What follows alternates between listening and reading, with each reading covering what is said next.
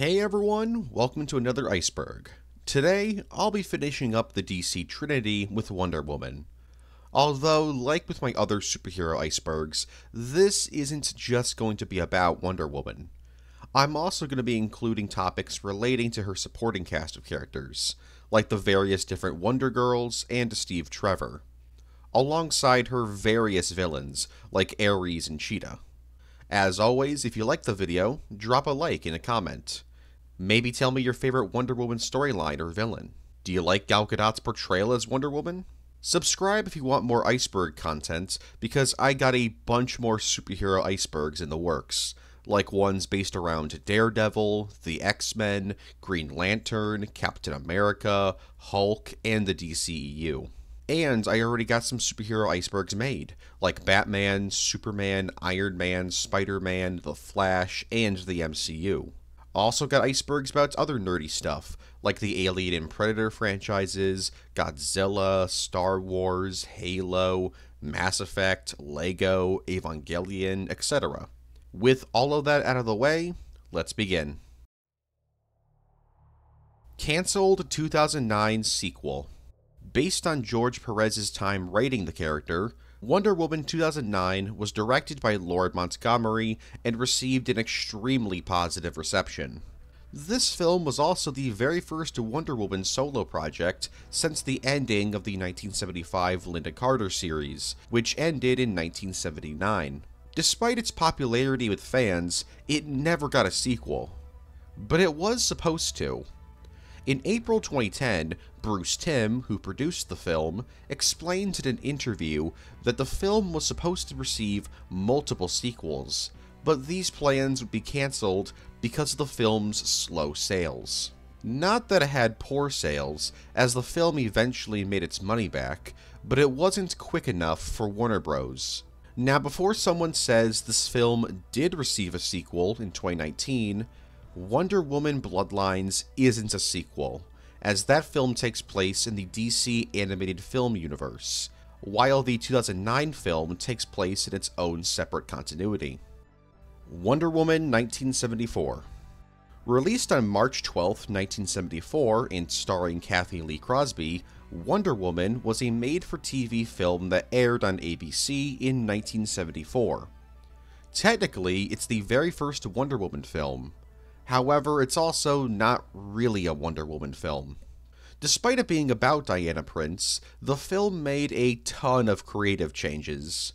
From small changes like Wonder Woman now being a blonde, to major changes, like her now being a James Bond like super spy assistant to Steve Trevor. She also doesn't have any powers, as this version of the character was inspired by a period of time where she lost her powers in the comics. More on that in a little bit. So, was this film a success? Not really.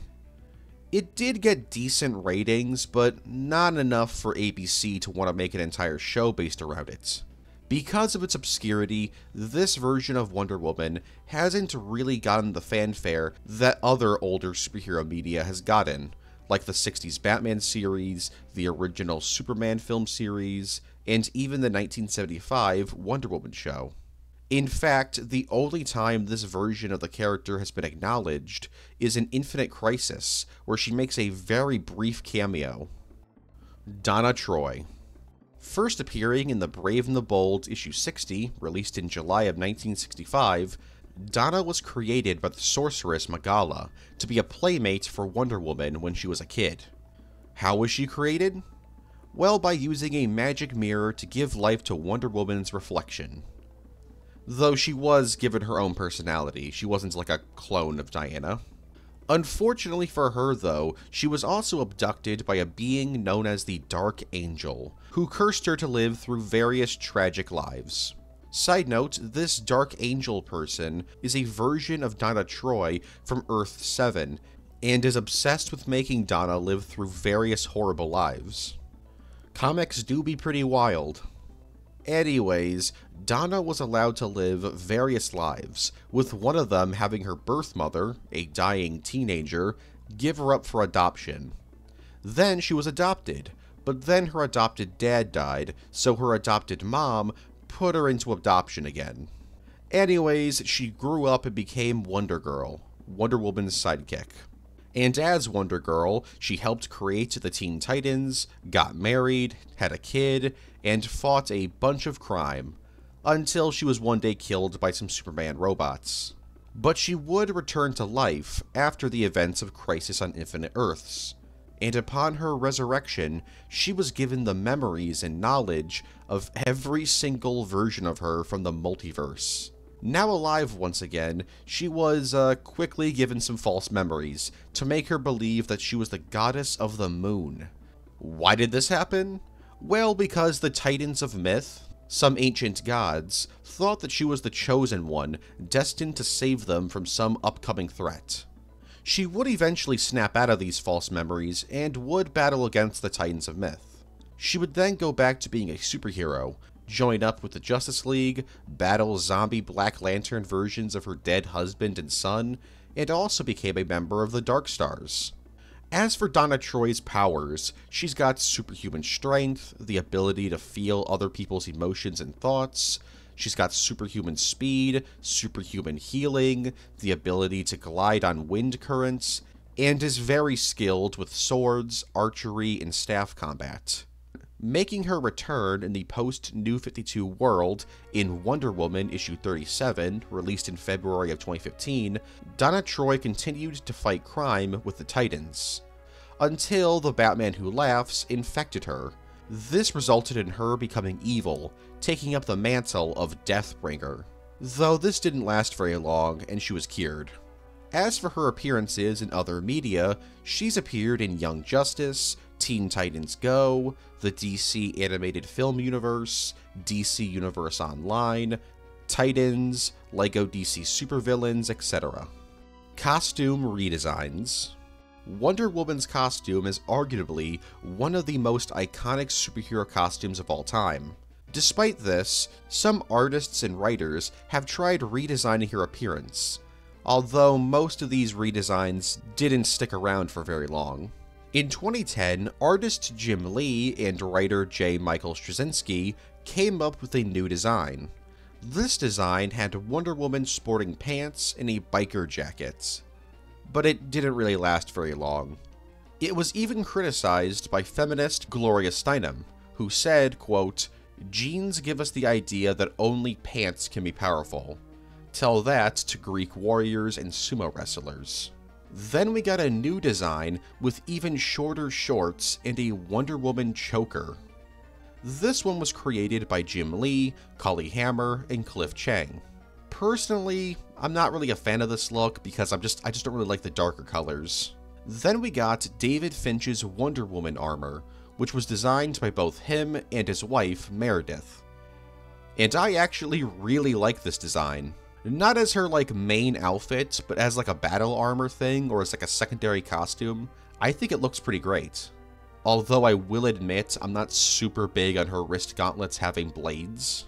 The final redesign I want to mention is the one from the 1990s, which is one that everyone hates, including designer Brian Bolland, who said, quote, Everybody disliked that costume, myself included but it was what was asked for at the time. I just wanted to draw her in her original costume. Trinity, first appearing in Wonder Woman issue 800, released in August of 2023, Elizabeth Marston Prince, aka Trinity, is the daughter of Wonder Woman from the future.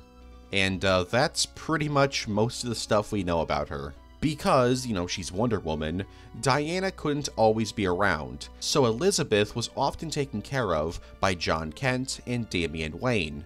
And because of this, she views these two as her older brothers. She fights crime in the future alongside them and goes by the name Trinity.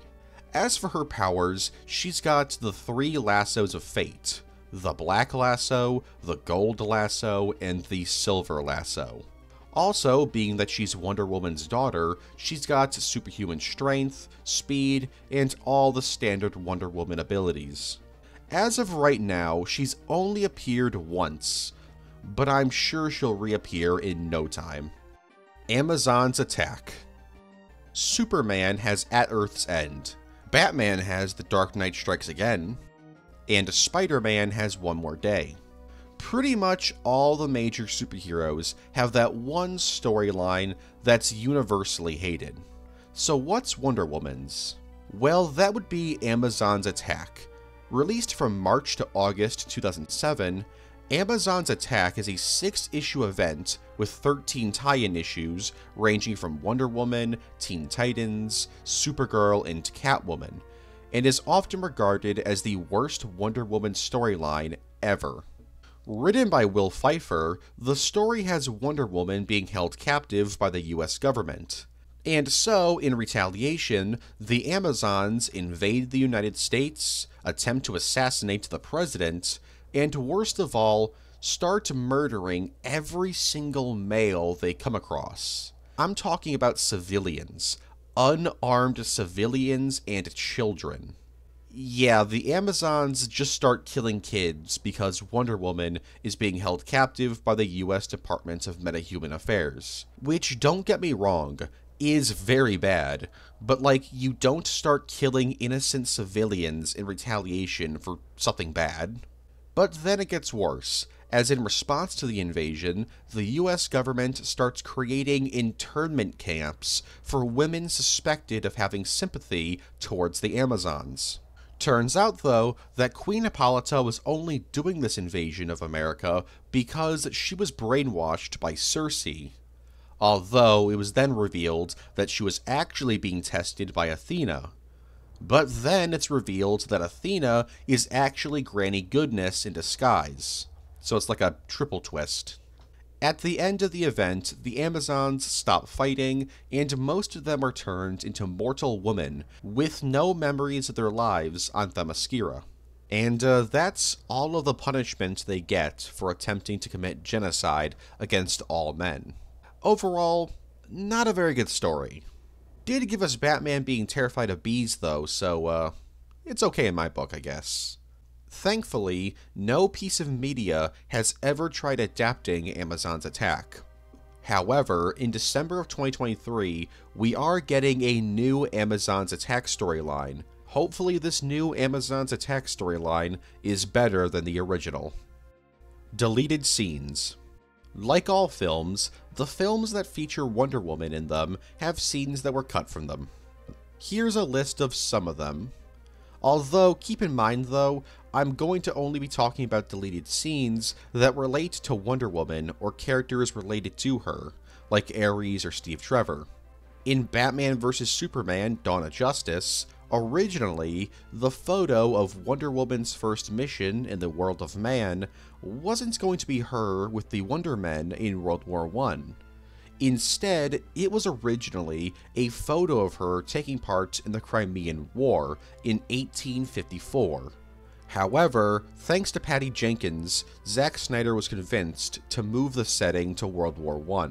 As for Wonder Woman 2017, originally, there was supposed to be an epilogue sequence where Etta Candy meets up with the Wonder Men and proposes another mission involving recovering an artifact from Belgium and returning it to America. This artifact would be revealed to be a mother box. This scene was actually released as its own short film titled Etta's Mission, which makes it the only DCEU short film. The film was also supposed to have another after credits scene showing the mother box activating on Themyscira.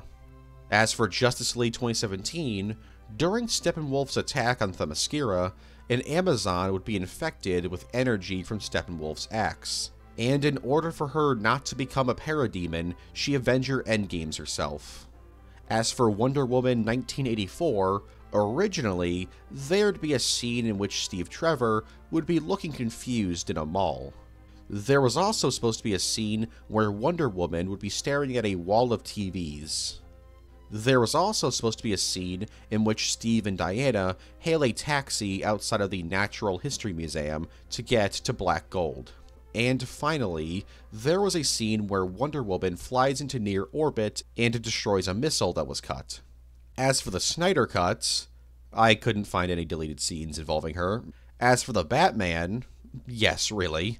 There was originally going to be a scene in which you would see some people dressed up in Halloween costumes. and some of these costumes would have been of Superman and Wonder Woman. As for Shazam, Fury of the Gods, while not a deleted scene, Diana's cameo at the very end of the film wasn't originally going to be in the film. She was brought into the film when the team behind the movie realized that fans would be pretty annoyed with the Wonder Woman fake out joke from earlier in the film if they didn't have her show up at the end. Also, Gal Gadot was never on set for the film. She filmed her scenes while working on another film. And as for The Flash, there really isn't any deleted scenes that I haven't talked about in other videos. DC Superhero Girls. In 2015, DC and Warner Bros. created a sub franchise called DC Superhero Girls. This is a franchise heavily marketed towards little girls and preteens. The franchise featured graphic novels, toys, directed DVD films, Lego sets, Lego TV specials, and most famously, a series of 11 to 15 minute long shorts released from October 2015 to December of 2018. Totaling in at 112 episodes, the franchise focuses on various female DC characters attending or working at Superhero High. Some of the major characters include Wonder Woman, Supergirl, Batgirl, Harley Quinn, Bumblebee, Jessica Cruz Green Lantern, Katana, and Poison Ivy. Various other characters would also appear in the show, as recurring characters or guest characters. Some examples include Blackfire, Mira, Raven, Starfire, Frost, Miss Martian, Hawkgirl, Amanda Waller, Cheetah, Enchantress, Catwoman, Star Sapphire, and Big Barda. The series of shorts were so popular that in 2019, a full on TV series was created. Developed by Lauren Faust of My Little Pony fame, the show ran from March 2019 to October of 2021 and lasted for 78 episodes. This is a separate continuity that focuses on Wonder Woman, Batgirl, Supergirl, Jessica Cruz Green Lantern, Bumblebee, and Zatanna going to Metropolis High School, while also battling villains as the team The Superhero Girls. This show received a mobile game, a full on video game, and crossed over with Teen Titans Go three different times. Artemis First appearing in Wonder Woman issue 90, released in September of 1994, Artemis was one of the very few people to hold the mantle of Wonder Woman in the main continuity, although it was through some weird circumstances. You see, Queen Hippolyta started seeing visions of the future, and in these visions, she saw Wonder Woman die. So, in order to keep Diana alive, she held a contest for the mantle of Wonder Woman, and Artemis won. So basically, she was just like dooming somebody to die in place of Diana. Although, Diana would still fight crime. Side note, Diana had actually met Artemis before, as Diana had met her in Bana Mighdall, an Amazon city in Egypt. Wonder Woman wasn't even the first superhero she had met before, as it would be later revealed that Artemis, when she was just 14 years old, was working for Ra's al Ghul, and when she was working for Ra's al Ghul, she fought against Batman and even met Superman. Anyways, Artemis fought crime as Wonder Woman alongside Diana and was even briefly a member of the Justice League. However, she wasn't really well liked by a lot of people, because they respected Diana, not the title of Wonder Woman. So she had to earn everyone's respect. And in trying to earn that respect, she died while battling the villain, White Magician. But that wasn't the end of Artemis. She would return pretty soon after, now going by the name Requiem. You see, after her death, she was sent to Tartarus, where she would be beaten and tortured.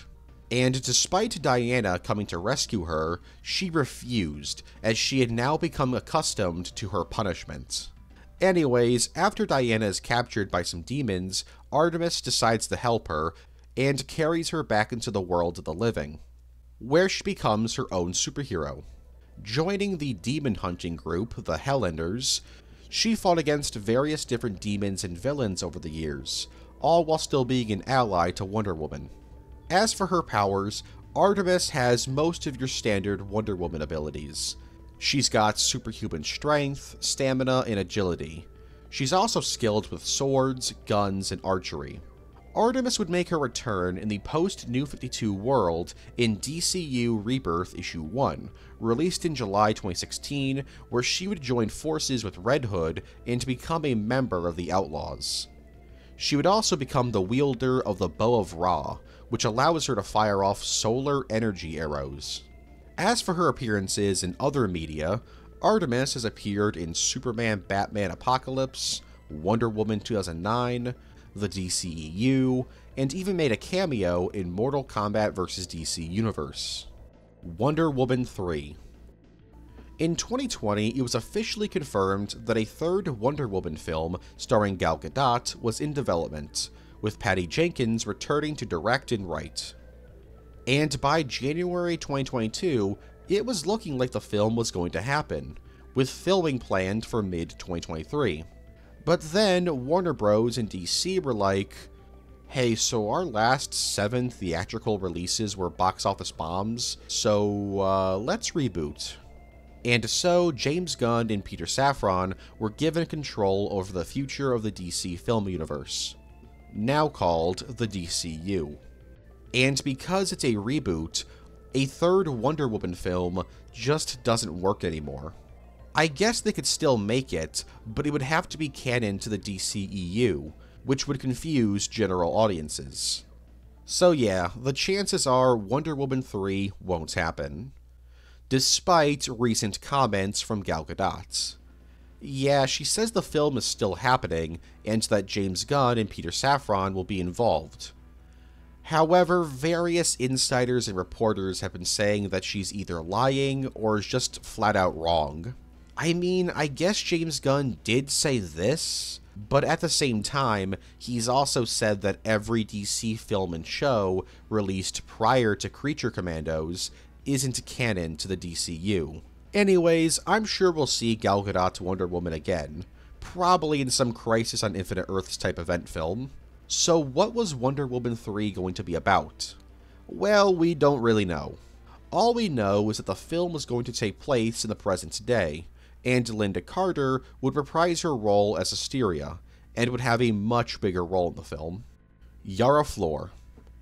First appearing in DC Nation Presents DC Future State Issue 1, released in November of 2020, Yara Flor is a weird character, in that her first appearance isn't her main universe version. Originally, she was introduced as a potential future Wonder Woman who comes from an Amazon tribe in the well, Amazon. The main universe version of her would make her debut half a year later in Infinite Frontier Issue 0, released in May of 2021.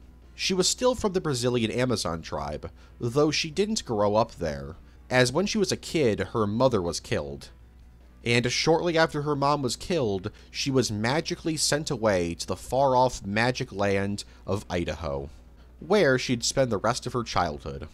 Upon turning 21, she'd travel back to her homeland and would eventually meet the Greek god Eros.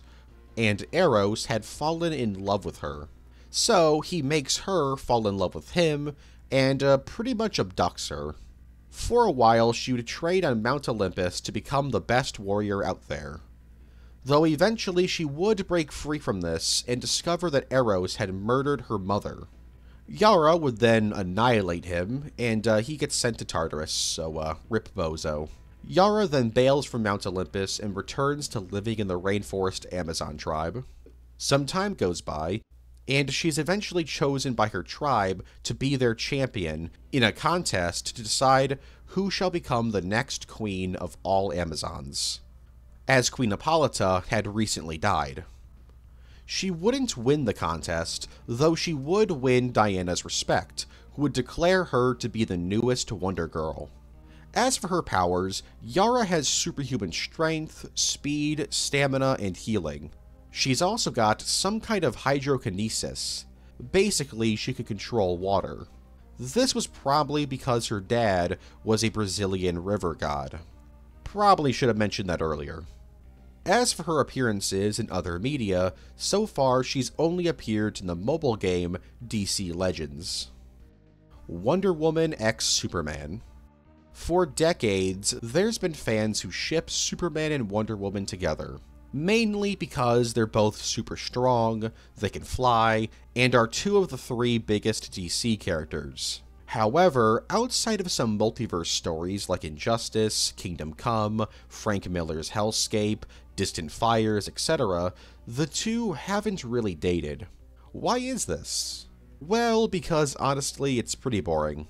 That being said, though, this relationship has happened in the main DC universe. In 2012, in the New 52, it was decided that Superman and Wonder Woman would become a couple. And uh, nobody liked it. So after a few years, not only did their relationship end, but it was flat out retconned out of canon. Side note, the pair have kissed in the past, and have also been attracted to each other. But every time this happens, the story always ends with the two agreeing to stay friends. Egg Fu. Oh god. First appearing in Wonder Woman issue 157, released in October of 1965, Egg Fu is probably the most infamous supervillain of the Silver Age of comics. Because, I mean, look at him. Created as a giant racist egg supercomputer, Fu waged a war against the United States for a bit, until he was eventually killed by Wonder Woman. As for Egg Fu's abilities, he's super smart, can use his mustache as a whip, and can use radiation to turn people into bioweapons. But that wasn't the end of Egg Fu. As in Metal Men issue 20, released in July of 1966, the brother of Egg Fu, Dr. Yes, battled the Metal Men. Brainwashing them, he would try to make them say, Down with America. But they refused, because they just loved the United States too much. They then broke free of the brainwashing and defeated him. But that wasn't the end of Egg Fu either as in Wonder Woman issue 166, released in November of 1966, Egg Fu the Fifth appears. He's basically the same as the other Egg Fu, just that he's smaller. He also dies in his very first appearance. But that's not the end of Egg Fu either, although that is the end of him being racist. After the events of Crisis on Infinite Earths, Egg Fu was now a dude named Chang Tzu who first appeared in 52 issue 6, released in August of 2006. He was no longer primarily a Wonder Woman villain, and would instead battle Black Adam, the Justice League, and the Metal Men. This Egg Fu had various different weapons built into his spider-like mech he controlled and walked around in. He's also kinda terrifying in some panels. And finally, in the post-New 52 world, Egg Fu made his debut in Harley Quinn Annual, released in December of 2014. And now he's no longer a villain, and is just a joke character. His full name is Edgar Fullington Young, and he helps out Harley Quinn. From problematic egg to scary egg to funny egg, Egg Fu has quite the history. Egg Fu has also appeared in two pieces of media DC Universe Online and LEGO DC Supervillains of all things. Wonder Girl Arrowverse Show. In November 2020, it was revealed that a Wonder Girl show set in the Arrowverse was in production, with Dailyn Rodriguez being the showrunner. The show would follow Yara Flor battling bad guys, and that's literally all we know about it. The show never got far into production, as in February of 2021, it was revealed that the CW had decided to pass on the show. Wonder Woman was a real life honorary UN ambassador. On October 21st, 2016, Wonder Woman was named an honorary ambassador for the empowerment of women and girls by the United Nations. This was in order to, quote, reach out to Wonder Woman fans to raise awareness of UN's Sustainable Development Goal number 5. This is the United Nations goal to achieve global gender equality by 2030. However, this decision was controversial, and in November of 2016, it was decided to remove Diana of her honorary position. And on December 16, 2016, Diana was officially fired.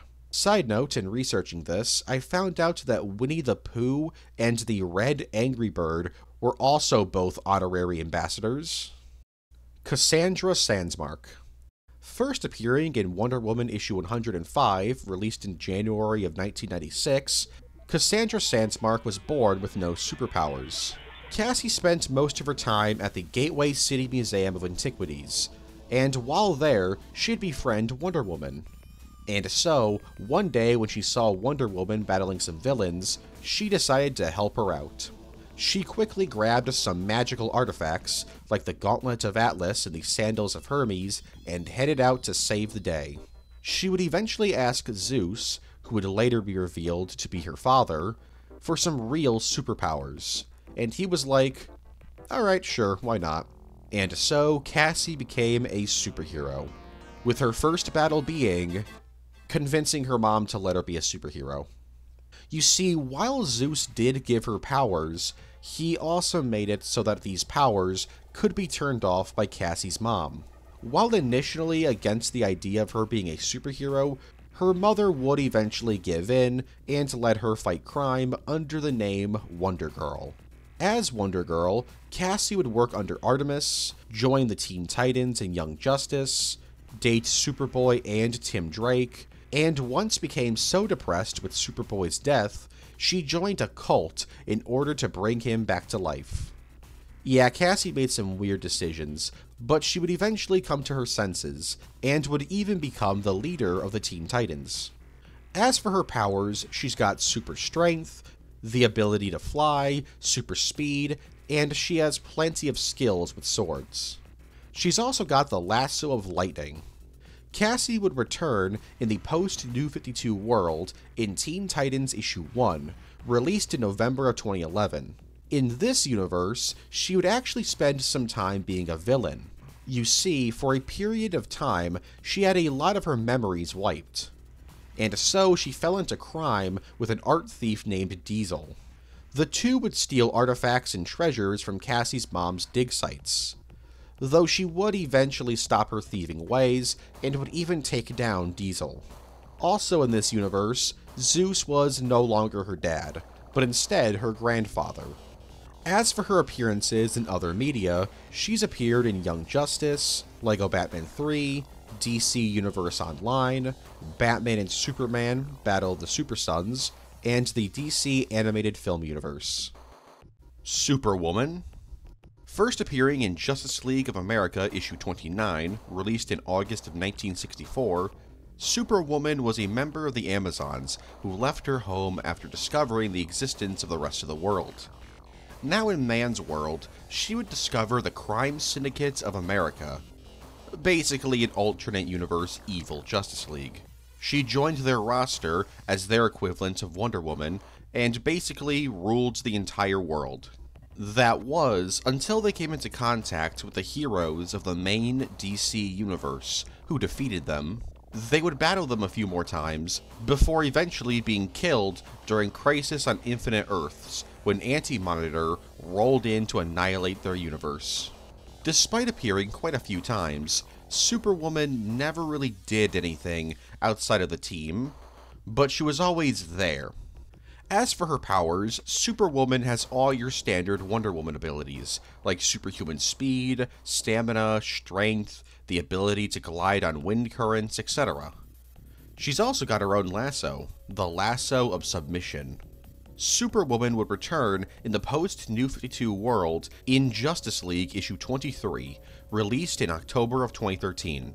Besides her name now being Lois Lane, most of her backstory was pretty much the same. However, she was also in a relationship with three different people at the exact same time. She was married to Ultraman while having an affair with Owlman, and having yet another affair with Luthor. Anyways, when she found out that she was pregnant, she manipulated both Ultraman and Owlman, telling both of them that it was their baby, hoping that they would fight each other to the death. Turns out, though, it was Luthor's kid.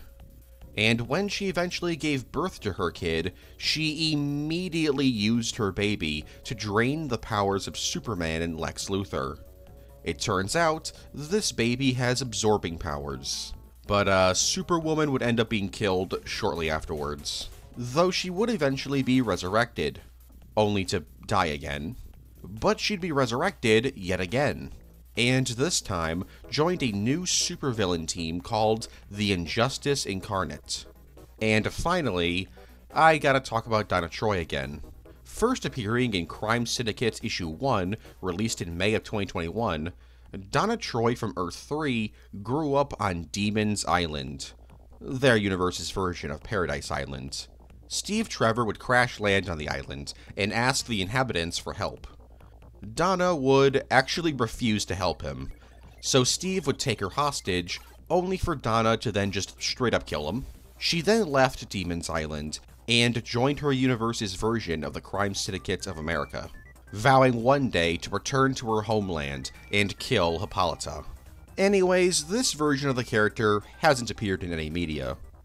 However, the original Superwoman has appeared in a few pieces of media, like DC Universe Online, DC Worlds Collide, LEGO DC Supervillains, Justice League Crisis on Two Earths, and DC Legends. Nubia.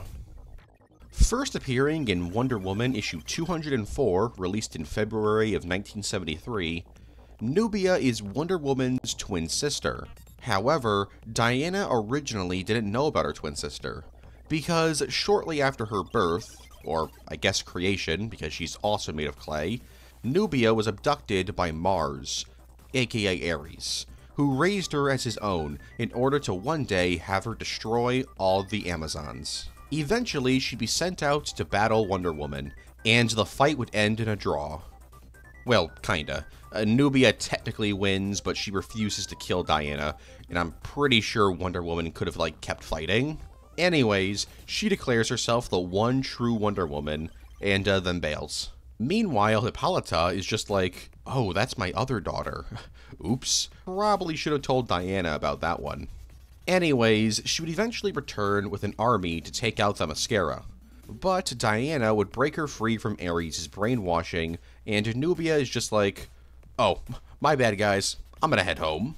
And outside of a small appearance where she helps out Supergirl and an appearance in the Super Friends comic series, she was completely absent from DC Comics for about 20 years. She would eventually return in Wonder Woman Annual 8, released in September of 1999. However, this version of Nubia is different. Not only is her name spelled differently, but this is her after the events of Crisis on Infinite Earths.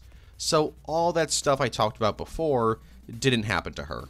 In fact, she's not even Diana's sister anymore, and was even around long before Diana was born. As for her powers, Nubia has similar powers to Diana in that she has superhuman strength, the ability to glide on wind currents, and super speed. She's also got a magic sword, so that's pretty neat. She would make her return in the post New 52 universe in Wonder Woman issue 75, released in September of 2019 and this version of the character is by far the most prominent. Originally not an Amazon, Nubia was a princess named Zahava, who lived on Madagascar. However, she would eventually be killed and was reborn from the Well of Souls. Now an Amazon, she would work with her sisters for centuries and would eventually become the queen of all Amazons. She was also reborn on the exact same day that Diana was born, so many consider them sisters. This version of the character also wields the Staff of Understanding and had a pet cheetah. As for her appearances in other media, she's appeared in DC Universe Online and DC Legends.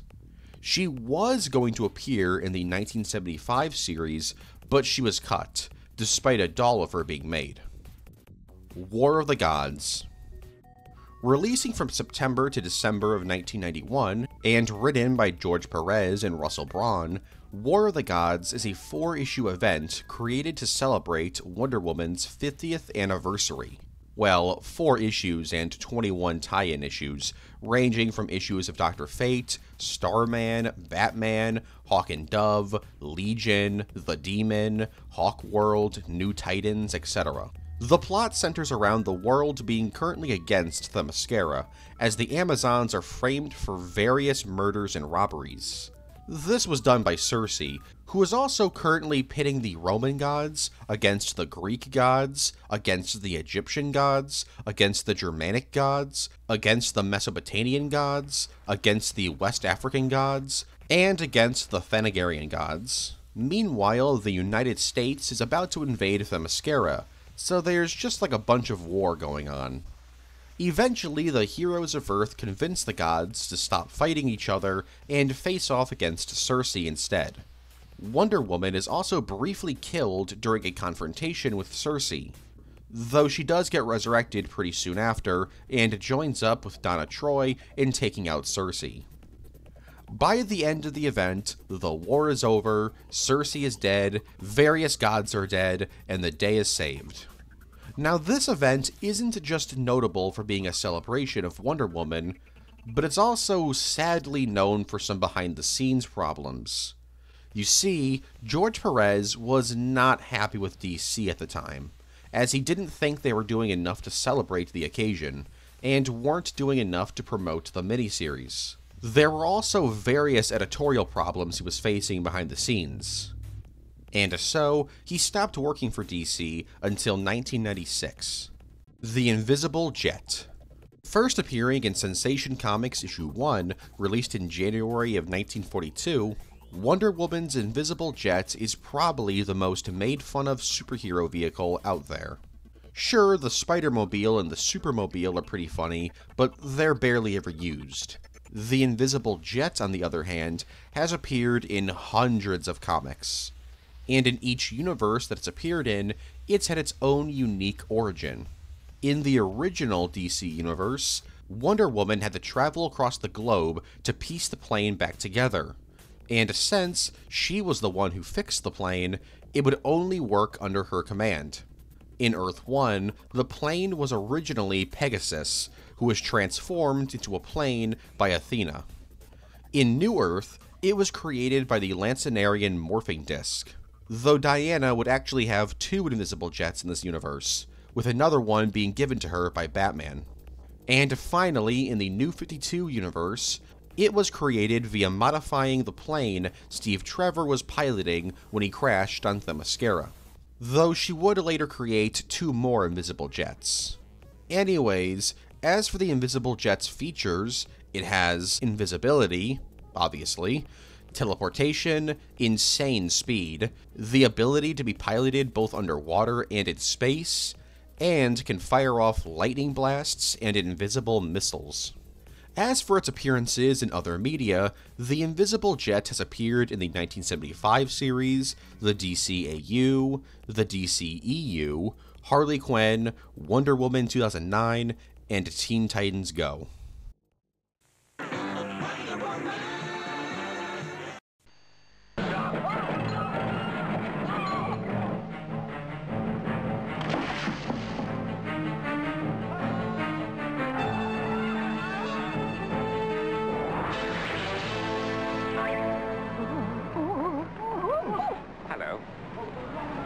Dear. She hasn't got the power, but you could have. National Power and Power Gem.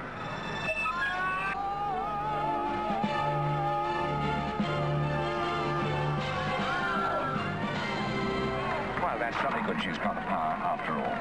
Yes.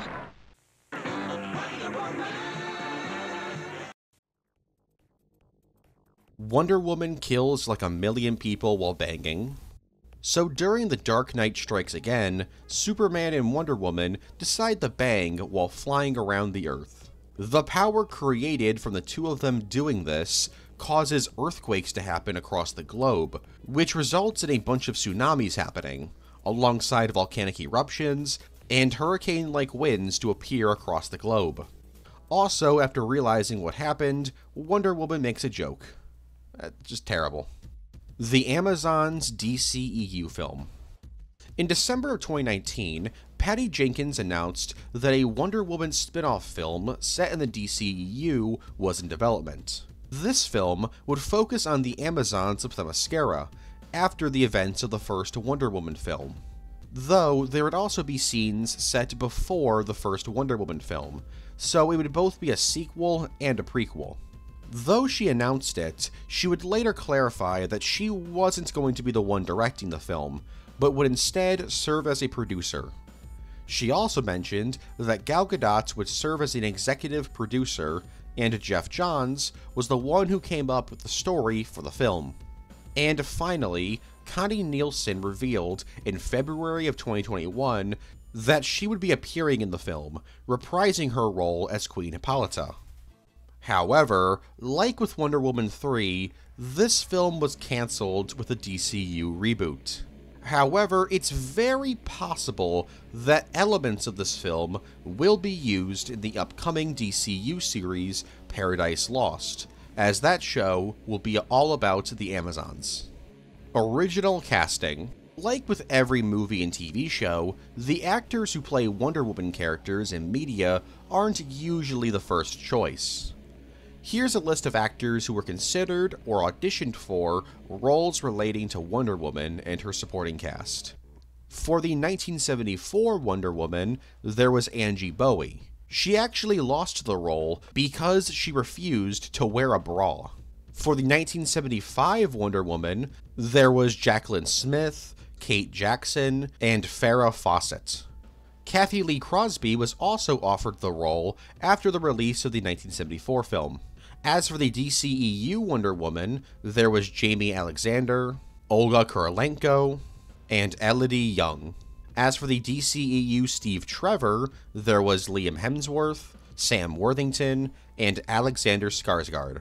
As for the DCEU Cheetah, there was Emma Stone. And finally, as for the DCEU Queen Hippolyta, there was Nicole Kidman and Charlize Theron. Ororo of Themyscira. During Marvel and DC's amalgam crossover, a bunch of Marvel characters were combined with DC characters, and Wonder Woman was no different. First appearing in DC vs. Marvel issue 3, released in February of 1996, Ororo of Themyscira is a combination between Wonder Woman and Storm from Marvel Comics. Born a normal human, Ororo traveled with her father across the Mediterranean Sea, hunting for treasure. But because her dad was a treasure hunter, Poseidon wasn't a fan of him, so he killed her father. But before he killed her father, he had his wife leave him and all of his treasure hunting funds cut off. But yeah, Poseidon would eventually sink the ship that he and his daughter were on, and Ororo was the only survivor being rescued by Queen Hippolyta and raised as an Amazon alongside Diana of Themyscira. Yeah, Wonder Woman actually has two different amalgamation variants. I'll talk about her in just a second. Anyways, it turns out that Ororo wasn't a normal human, but instead a mutant with the ability to manipulate the weather. Using her powers, she would then go after Poseidon, but he was like, sorry, so she left him alone. She would then join the superhero team, the Justice League X-Men, and take up the superhero name Amazon. As for her powers, she's got weather manipulation, superhuman strength, and the ability to fly. Meanwhile, there's the other Diana, who's just called Diana Prince, and she's a combination between Wonder Woman and Marvel's Elektra. She left Themyscira after losing a contest to become Wonder Woman, and would fight crime all across the globe. Even at one point working under the King of Wakanda, Bronze Tiger. She would eventually meet up with the Punisher, work with him for a bit, had a kid with him, and then divorced him. As for her abilities, Diana has superhuman strength, adamantium bracelets, and is a master at archery. Wonder Woman, the animated series. In 1994, Boyd Kirkland, who was heavily involved with Batman the Animated Series, approached Fox Kids and pitched a Wonder Woman cartoon. Fox, however, would decline, so he went to Kids WB and pitched the idea there. They also declined. This was despite both companies wanting a girl oriented action animated series. As for what the show would have been about, outside of it obviously starring Wonder Woman and most likely taking place in the DCAU, we don't know anything about the story. Wonder Woman 77. Written by various authors, including Trina Robbins, Amanda Deibert, Amy Chu, Ruth Fletcher, Christo Gage, and Marc Andreyko, Wonder Woman 77 was a series of comics that continued the story of the original 1975 Wonder Woman series. Not only does it continue the story, but the comic also introduces a bunch of Wonder Woman's characters into this continuity, like Cheetah, Silver Swan, Dr. Psycho, Nubia, etc. Also, Clayface shows up for some reason. Oh, right, because Diana's made of clay and Clayface is clay. Okay, actually, that makes sense. The original four issue run of the series ran from January 2015 to September of 2016. The first three issues are just your standard Wonder Woman stories, while the fourth one is actually a direct sequel to an episode of the show, Gault's Brain. In 2017, a sequel crossover series would be released, in which the 60s Batman series crossed over with Wonder Woman thus making the two shows set in the same continuity.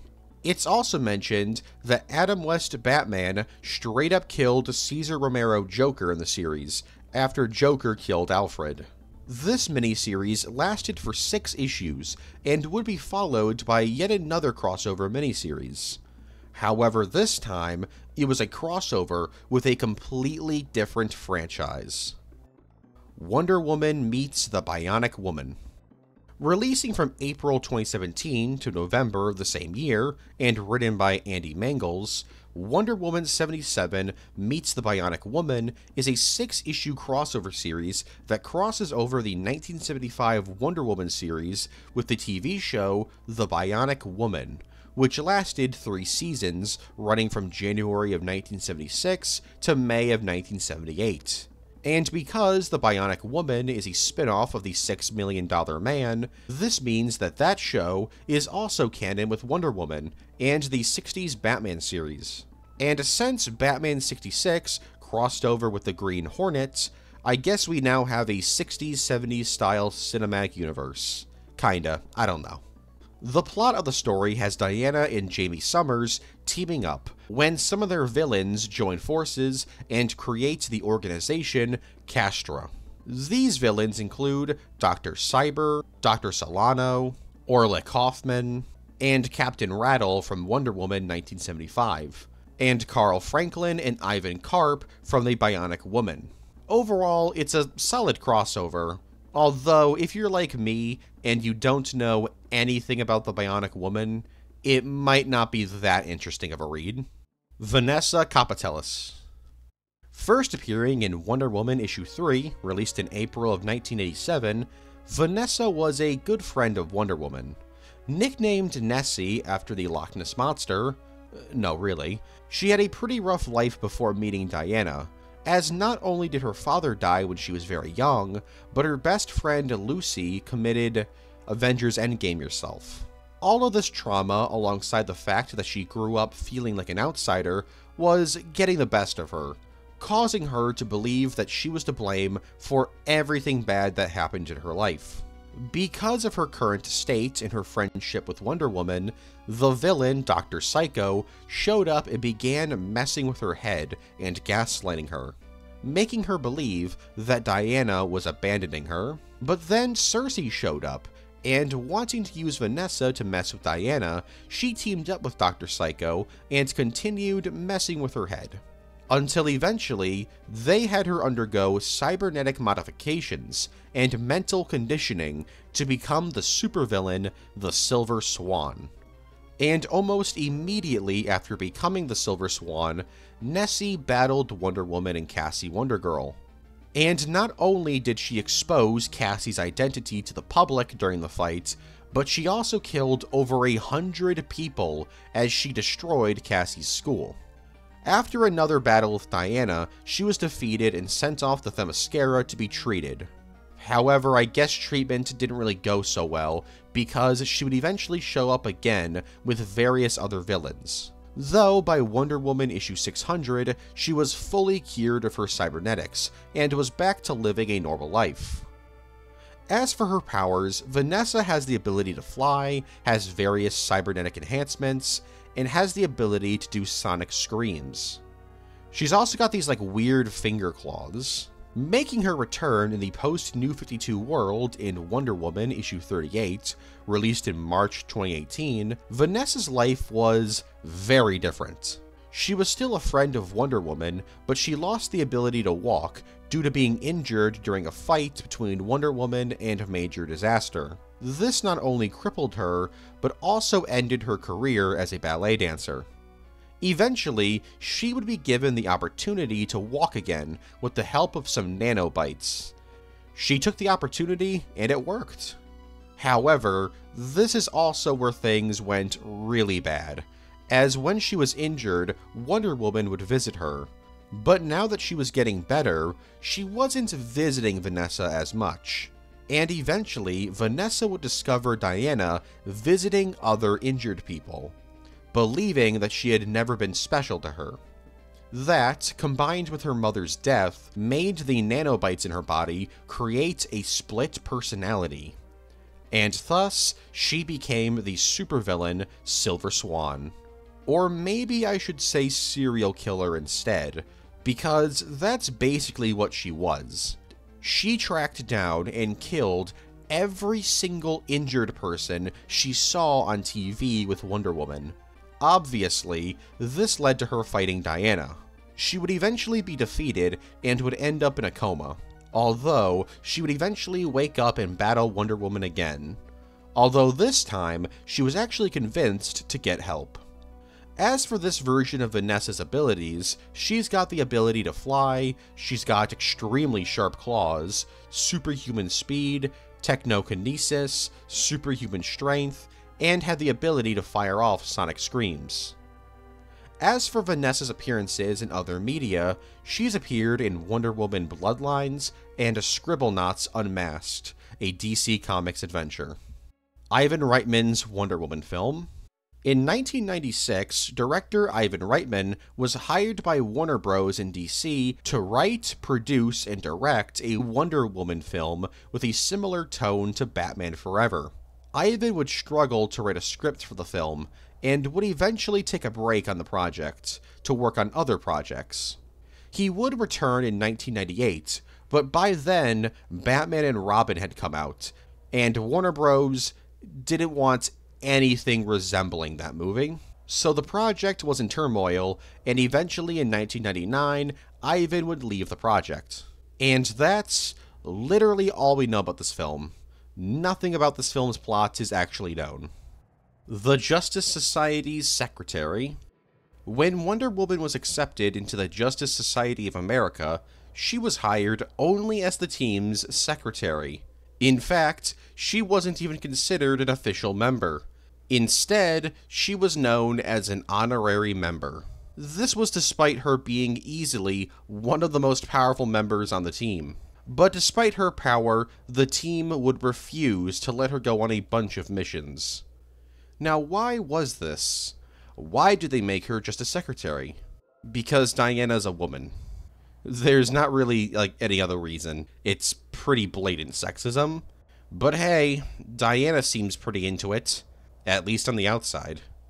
Wonder Woman and the Star Riders this is a 15 page one shot comic released inside of select Kellogg cereal boxes.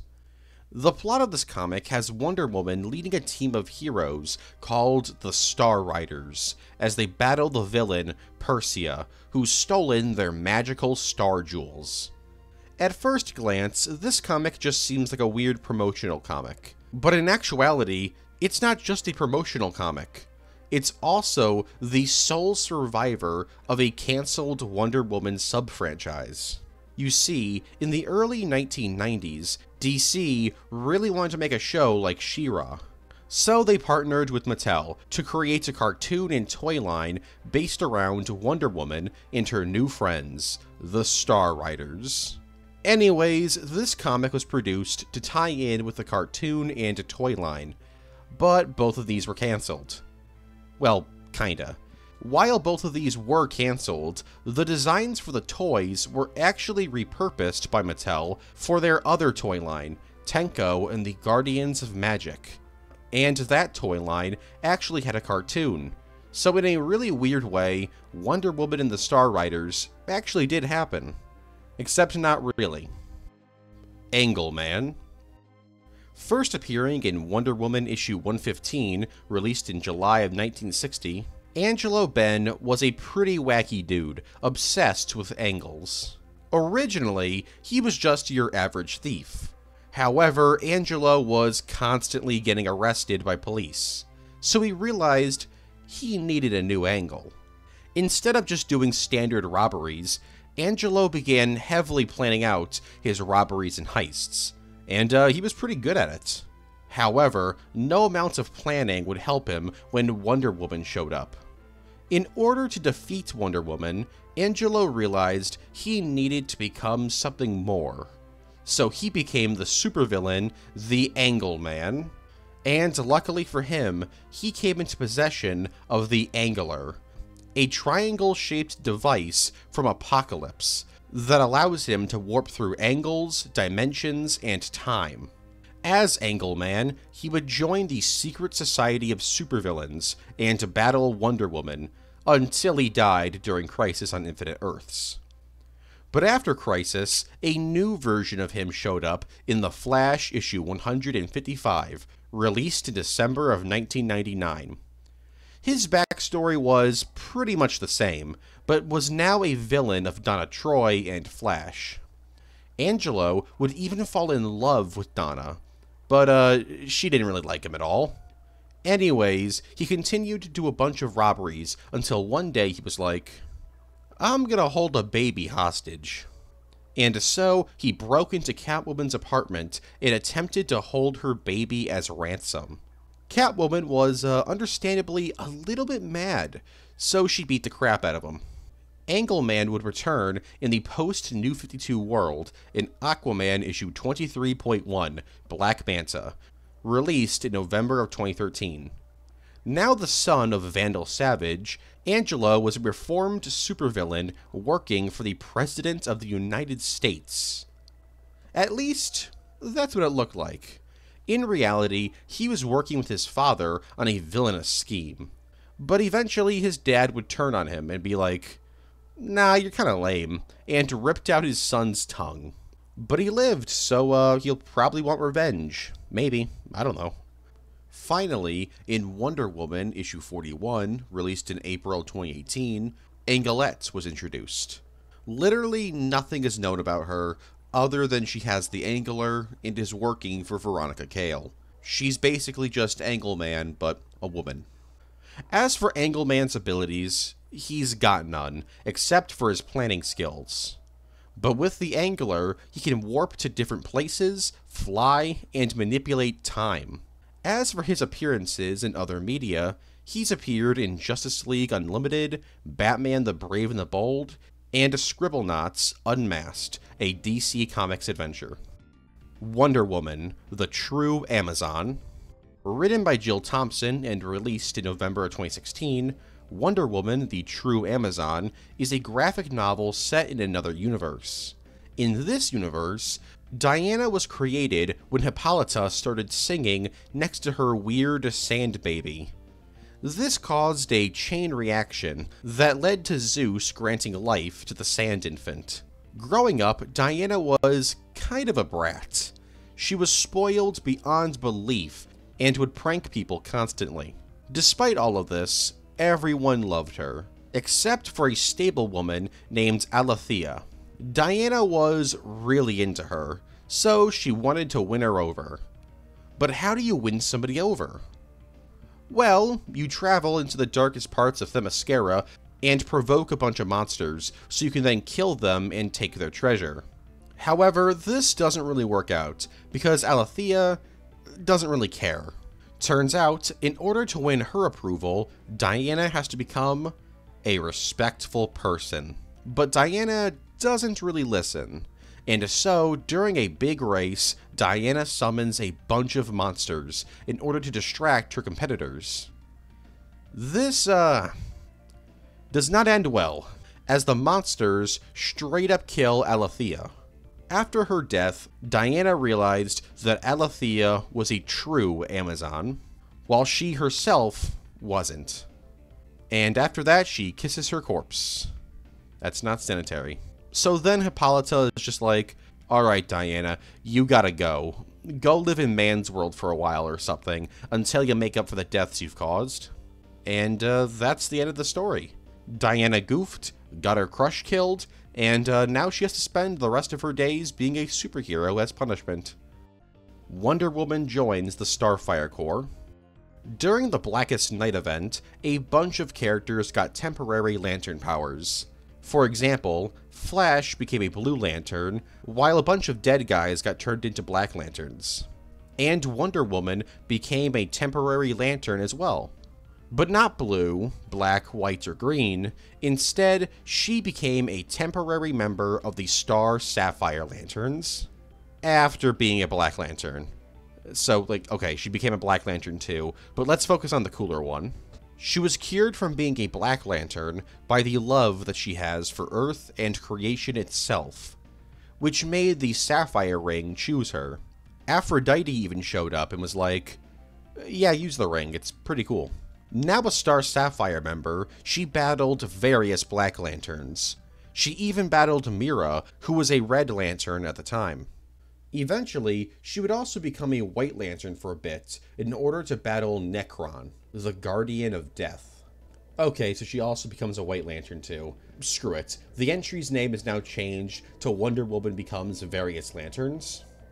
Years later, in Wonder Woman Annual 2, released in August of 2018, Diana became a Star Sapphire Lantern yet again, in order to help out the Star Sapphire Corps in defeating various dark gods, like Karnell.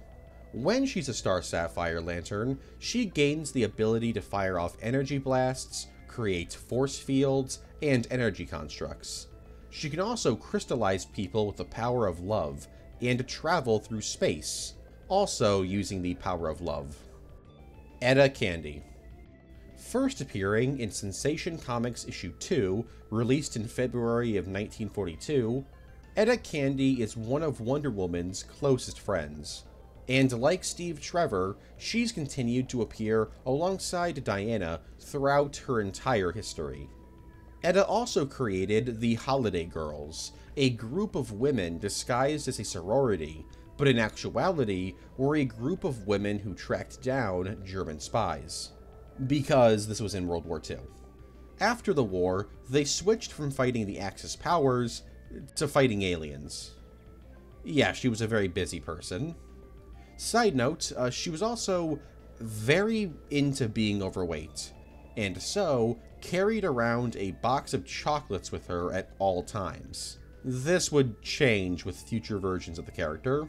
Also, she liked to pretend that she was always 16 years old, like she was a Hololive idol. So on her birthdays, she would eat a 16 course meal. Again, this would uh, change with future versions. The Silver Age version of the character first appeared in Wonder Woman issue 117, released in October of 1960, and uh, didn't really appear as much as her Golden Age counterpart. In fact, for about 20 years, she wasn't in a single comic. But she would return in 1980, where she was now a huge fan of Betty Crocker. She also went to hell once after being kidnapped by some Satanists. Once again, she's a very busy person. Her post Crisis on Infinite Earths incarnation first appeared in Wonder Woman issue 2, released in March of 1987. And this version of the character actually got married, and like her previous incarnations, was a member of the United States Air Force. And finally, she made her return in the post New 52 world in Justice League issue 7, released in May of 2012. This version of the character is very different from earlier versions. She was now African American and was now gay, being really into Wonder Woman's arch nemesis, Cheetah.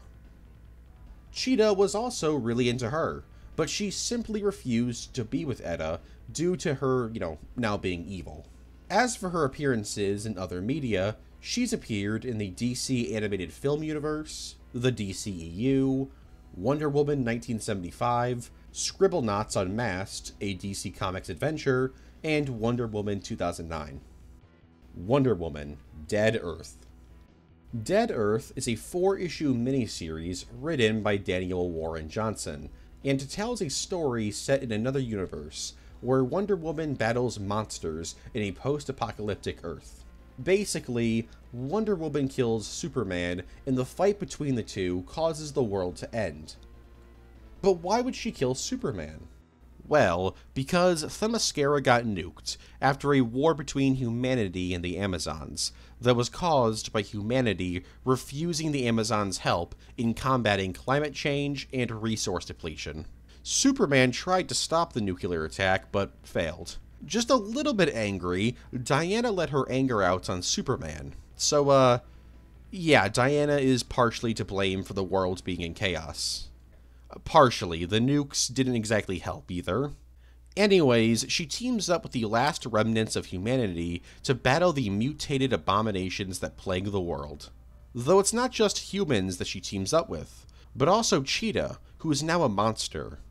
Turns out, after the world ended, humanity thought that she was working with Diana to destroy the world. So they experimented on her. But it gets worse. The abominations terrorizing the world are actually the remnants of the Amazons. Because of their immortality and magic, the nuclear hellfire didn't exactly wipe them out, but instead turned them into monsters. And these monsters are being led by Hippolyta, who wants to wipe out humanity for what they've done. Diana's like, no, and kills all the monsters. So Hippolyta retreats into exile. Side note, uh, can't exactly show you this, but uh, Wonder Woman rips out Superman's spine and skull from his corpse and uses it as a weapon. Insane.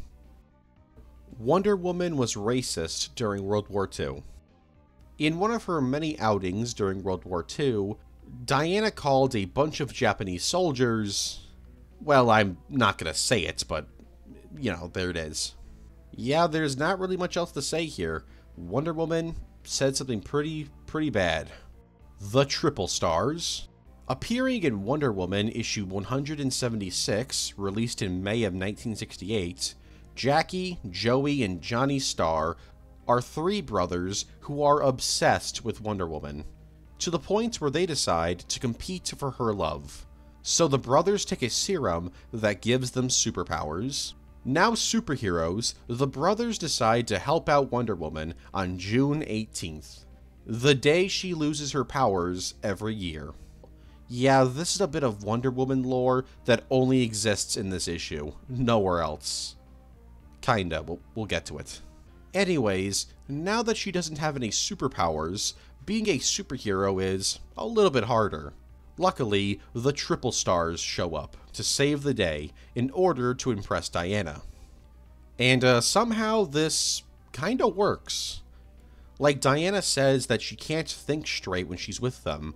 She even compliments them, saying, like, wow, he's so funny and handsome and perfect. So I guess that she's uh, kind of into them. But by the end of the story, the brothers lose all their powers, while Wonder Woman regains hers and tells the brothers that she can't marry any of them because she's a superhero.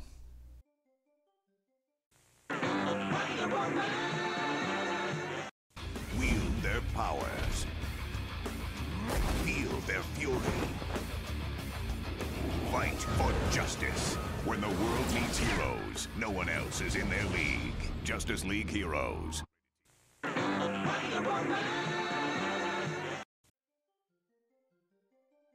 Wonder Girl spin off show. In the late 1970s, there were discussions about making a spin off show to Wonder Woman that would focus on Wonder Girl, played by Deborah Winger. And there's a decent chance that this show would have happened. So why didn't it? Well, because Deborah Winger really didn't like working on the show. She hated working on the show so much that she bought out her contract with Warner Bros. in order for her to leave the show early. Because of this, multiple episodes of Wonder Woman would be cancelled as she was set to appear in them, and talks of the spin off were pretty much just completely abandoned. Chief is Napi. So, you know Chief, one of the Wonder Men from Wonder Woman 2017? Yeah, well, it turns out that he's actually the demigod Napi. Now, most people who saw the film wouldn't have been able to tell, but when Chief introduces himself to Diana, he calls himself Napi, while speaking in his native language, Blackfoot. Now, people initially thought that this was just like a small detail that the actor Brave Rock improvised. But no, it turns out that Napi is in the script, so the character was written to be a demigod. Unfortunately, this didn't really get explored in the film, but it's a neat detail. Scrapped appearance in Superman the Animated Series. So, the DCAU Wonder Woman, in my opinion, is the best adaptation of the character, and a lot of people agree. So, it's especially sad to know that she only appears in Justice League and Justice League Unlimited. However, she was originally going to be introduced into the DCAU in Superman the Animated Series, just like how The Flash was. She would have appeared as a guest character in one episode, but the pitch for the episode was rejected. She was also going to make a guest appearance in Batman Beyond in the episode The Call. But because of weird rights issues, the team behind the show couldn't use her, so they replaced her with Big Barda. Wonder Woman's Invisible Twin. In Wonder Woman issue 59, released in May of 1953, Wonder Woman is just about to start her day when suddenly some invisible force begins to strangle her. She's obviously pretty spooked by this, and uh, pretty soon, though, the invisible entity just vanishes, just as quickly as it arrived. And it just as quickly returns as this invisible force keeps messing with Diana throughout her entire day. This all comes to an end when she accidentally falls off a bridge after her lasso gets zapped by lightning. This somehow causes her to end up in another reality, where she's met by the Wonder Woman of that reality, Tara Terruna. Anyways, it turns out that the invisible entity that was attacking Diana was actually the evil villain Duke Dasm's henchman attempting to assassinate Tara. And because of some weird time warp situation, every attempt at her life also affected Diana so the pair then team up to defeat Duke Dasm and his soldiers. Shortly after defeating him, Diana's lasso is hit by lightning yet again, and she's sent back to her universe. Side note, this story opens up saying that this story could happen to you. So watch out, I guess. Historia, The Amazons. Releasing from January 2022 to February of 2023, Historia, The Amazons is a three issue miniseries written by Kelly Sue DeConnick. Originally pitched as a nine issue epic, the series tells the entire history of the Amazons. Well, the Amazons in a different universe. Yeah, this isn't canon to the main DC universe. The story follows Hippolyta and reveals her origins as a normal woman who tracked down and joined the Amazons after being saved by them she also kills a baby. I mean, she was forced to abandon the baby, so it wasn't entirely her fault, but like, she still did it. Uh, basically, a woman and her husband had a fourth kid and were like, we don't want her. Go leave the baby in the forest as an offering to the gods. Hippolyta was forced to do so, but wasn't happy about it. So she would try to save the baby shortly after abandoning it. But it was too late. Baby dead. But this baby's soul was then captured by the god Hera, who took the soul and placed it in the sand baby Hippolyta would later create. So basically, the baby was reborn into Diana. Hippolyta would also save a bunch of slaves and battle a bunch of meaners, like Hercules. And uh, that's all I'm gonna say. There's a ton of stuff in this series that I won't spoil, because this series wrapped up less than a year ago. So, if you're interested in it, go check it out. Cancelled live action show. In 2011, a pilot was created for a live action Wonder Woman series that would air on NBC. Simply titled Wonder Woman, this pilot stars Adrianne Palicki as Diana Prince, as she battles various criminals and takes down the evil businesswoman Veronica Cale, all while she girl bosses at her business, Themyscira Industries, which builds technology using funds created by selling Wonder Woman merch. And this pilot was terrible. NBC didn't pick up the show after seeing the pilot, and eventually, when the pilot was leaked to the public, many people were just shocked at how bad it was. With the acting, dialogue, and the changes to the source material all being the biggest criticisms. Well, all of those and Wonder Woman's costume. And it wasn't just critics and fans who didn't like this pilot. The pilot's own writer, David E. Kelley, has admitted that the pilot isn't very good, and that he wishes he had a chance to fix the issues with it. As for the other characters featured in this pilot, there's Steve Trevor and Etta Candy, with Steve Trevor now being a member of the United States Department of Justice. There's also a character named Ed, played by Pedro Pascal, of Mandalorian, Last of Us, Game of Thrones, Wonder Woman 1984, Kingsman, Narcos, and maybe Fantastic Four fame.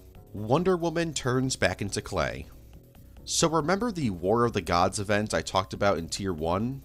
Well, I mentioned that Wonder Woman briefly dies in the event, and uh, it's true, she does die. But I purposely left out how she dies, because it's a rather weird way. During the War of the Gods, issue 3 to be exact, Diana is confronted by Circe on the beaches of the Themyscira, and she's ready for a fight. However, Circe isn't, and instead of fighting, Circe uses her magic to turn Diana back into the very clay she was made from. This is only possible because the clay she was made from came from this very beach they're on. And so Diana dies, being turned back into clay. Meanwhile, Circe is pretty hyped. Though not for long, as Diana would return to life in the next issue. Mouse Man, First appearing in Wonder Woman issue 141, released in October of 1963, Mouse Man is a strange villain. We don't really know anything about this dude's backstory. In fact, we don't even know his name. The only things we know about him was that he was a villain of Wonder Woman's who attempted to defeat her in order to win a gold trophy, as he was a member of the Academy of Arch Villains. He would end up fighting her a few more times over the years, teaming up with Dr. Cyber, creating his own mouse army, and even capturing Diana, forcing her to do a bunch of weird circus acts. As for his powers, he can shrink himself down to the size of a mouse. He can also control an army of rats, and move extremely fast when small. He's also a chemist, and uh, that's about it. He would make his return in the post New 52 world in Forever Evil, Argus, issue 5, released in April of 2014, where he'd show up and be killed in the same issue by Killer Frost. While he hasn't appeared in any pieces of media outside of comics, he has shown up in the Batman the Brave and the Bold comic series. John Cohen's Wonder Woman film, in 1999, John Cohen was hired to direct a live action film based on Wonder Woman, with Joel Silver producing and Todd Alcott writing the script. And uh, nothing happened. Yeah, this Wonder Woman film never got far into production, though we at least know a few actresses that were considered for the role of Diana. Mariah Carey, no really, Lucy Lawless, Catherine Zeta Jones, and Sandra Bullock with the latter being the one that Joel Silver really wanted in the film. By 2003, Todd Alcott was removed from the project and replaced with Laeta Kalogridis. But this version of the film would eventually be canned in favor of yet another cancelled Wonder Woman film that I'll talk about in just a little bit. Peng Deilan first appearing in New Superman issue 1, released in September of 2016, Deilan is the Wonder Woman of China. But unlike Wonder Woman, she's not an Amazon. In fact, she's actually a mythical snake. No, really. She's an adaptation of the Chinese mythology character Xiaoqing. Basically, her friend Whitesnake and her traveled to the human world because Whitesnake was in love with a human. They were later attacked by a turtle named Fahai, who transformed himself into a human because he was really into Whitesnake. Greensnake, that's her, protected her friends from the attack, but was transformed into stone by the sorcerer turtle. And for centuries, she remained a statue until one day she was freed by Dr. Omen. Now free, she befriended the Superman of China and joined the Justice League of China as this team's Wonder Woman equivalent. This is, despite her having almost none of Wonder Woman's abilities. Instead, she has her own lineup of powers. She can fly, transform into a giant snake, use telepathy, regrow lost limbs, and even has fangs. Because, you know, snake. She's also got her own lasso that's an extension of her skin. As of right now, unfortunately, she hasn't appeared in any piece of media. Cancelled Wonder Woman and Xena crossover. In the 1990s, there were plans for a crossover comic between Wonder Woman and Xena, Warrior Princess. However, before the comic could be released, it was cancelled. But the interesting thing is, this comic is pretty much done. No, really. According to Gail Simone, the comic was completely drawn and written, but it was still cancelled. So, what was this comic going to be about? Well, apparently, it was going to be a very light-hearted one-shot titled The Princess War Diaries, and would have had Wonder Woman and Cassie Wonder Girl being transported into Xena's universe. This only happens because Ares is just like, you know, transporting Wonder Woman to another world would be pretty entertaining. Anyways, they're sent to Xena's realm, and eventually a fight breaks out between the two heroes. And at some point in the story, Diana would end up wearing Xena's armor, while Xena would somehow end up wearing Wonder Woman's outfit. Anyways, this comic was cancelled because it would have been released after Xena ended, and also DC wasn't super big on Wonder Woman being used in an action comedy setting. Who's Afraid of Diana Prince? In 1967, a short pilot was filmed for a Wonder Woman TV series inspired by the 1960s Batman series. The pilot, titled Who's Afraid of Diana Prince, had Wonder Woman not really being a thing. Yeah, the story of the show would have had Diana Prince be an awkward woman living with her mom, and her mom was constantly getting mad at her for not having a boyfriend. But whenever she was alone, Diana would change into a Wonder Woman costume and pretend to fight crime. Granted, this could have just been the plot of the episode, and the rest of the show would have had her actually being a superhero, but nothing else is really known about this rejected show. DC vs. Vampires. Releasing from December of 2021 to February of 2023, DC vs. Vampires is a 12 issue series written by Matthew Rosenberg and James Tynion IV. The story is about a vampire virus spreading through the DC universe that tears the world of DC's heroes and villains apart. Led by Vampire Nightwing, the vampires begin to infect various characters, like Hal Jordan, Zatanna, Gorilla Grodd, King Shark, Hawk Girl, Blue Beetle, Superman, Cheetah, Firestorm, Shazam, Aquaman, Black Lightning, Raven, Power Girl, Black Adam, Mr. Freeze, Killer Moth, Hawkman, Martian Manhunter, Condiment King, Cassie Wonder Girl, and of course, Wonder Woman. Early into the vampire outbreak, Barry Allen was killed, and Wonder Woman really wanted revenge. So she began investigating who could have killed him. And she quickly discovers that it was Hal Jordan. Upon confronting him, Hal's just like, I'm in love with you. So is Barry. So is everyone. And Diana's just like, I, I, I, I don't really care. And uses her lasso of truth. Hal reveals that he's a vampire and that he killed Barry. Diana's pretty devastated, but is then hypnotized by Hal, resulting in him infecting her.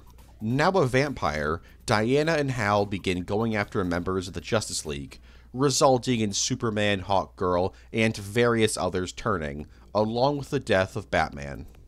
As I mentioned earlier, Cheetah and Cassie Wonder Girl are also infected. Because the story wrapped up earlier this year, I won't go further into detail about the events of the comic. There's still a ton more I didn't talk about. So if you want to learn more, go check it out. The same goes for the six issue spin off series DC vs. Vampires All Out War, released from September 2022 to February of 2023 and written by Matthew Rosenberg and Alex Paknadel. Paperman. Only appearing in Wonder Woman issue 165, released in October of 1966, Horace Throstle was a victim of workplace harassment. Bullied by pretty much everyone, he was shocked when Diana Prince was nice to him. This one act of kindness caused him to fall in love with her. And in his love struck state, he fell into a vat of experimental chemicals at the chemical factory he was working as a janitor at. And because this is a comic book, he didn't die. Instead, he became paper thin. Despite almost dying and now looking like this, his coworkers still continued to bully him. And that's when he decided to become the villain, Paperman. So he decided to start robbing places to get gifts for Diana. However, Diana wouldn't accept stolen gifts obviously. And that infuriated him. But how did she know that the gifts were stolen? Well, because when he stole the items, he would have to face off against Wonder Woman. And because of this, he grew to despise her, and just didn't understand that Diana wouldn't accept stolen gifts. So eventually, when he was trying to steal a crown, Wonder Woman blew a gust of wind at him. And this would cause him to fly into a newspaper company nearby, where he would then fall into a printing press, killing him. Everyone was pretty hyped that he died, but Wonder Woman wasn't. For you see, she felt guilty about killing him. Just kidding, she was actually worried that he might still be alive. As for Paperman's abilities, he's paper thin, so he can disguise himself on various surfaces and slide underneath doors. He can also fold himself into various shapes, like a paper airplane, a wheel, or a kite.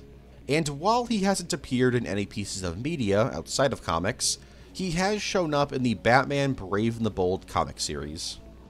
Wonder Woman, Diana's daughter. Since 2018, DC Black Label has had various great stories released under it. And some pretty poopy ones, but whatever.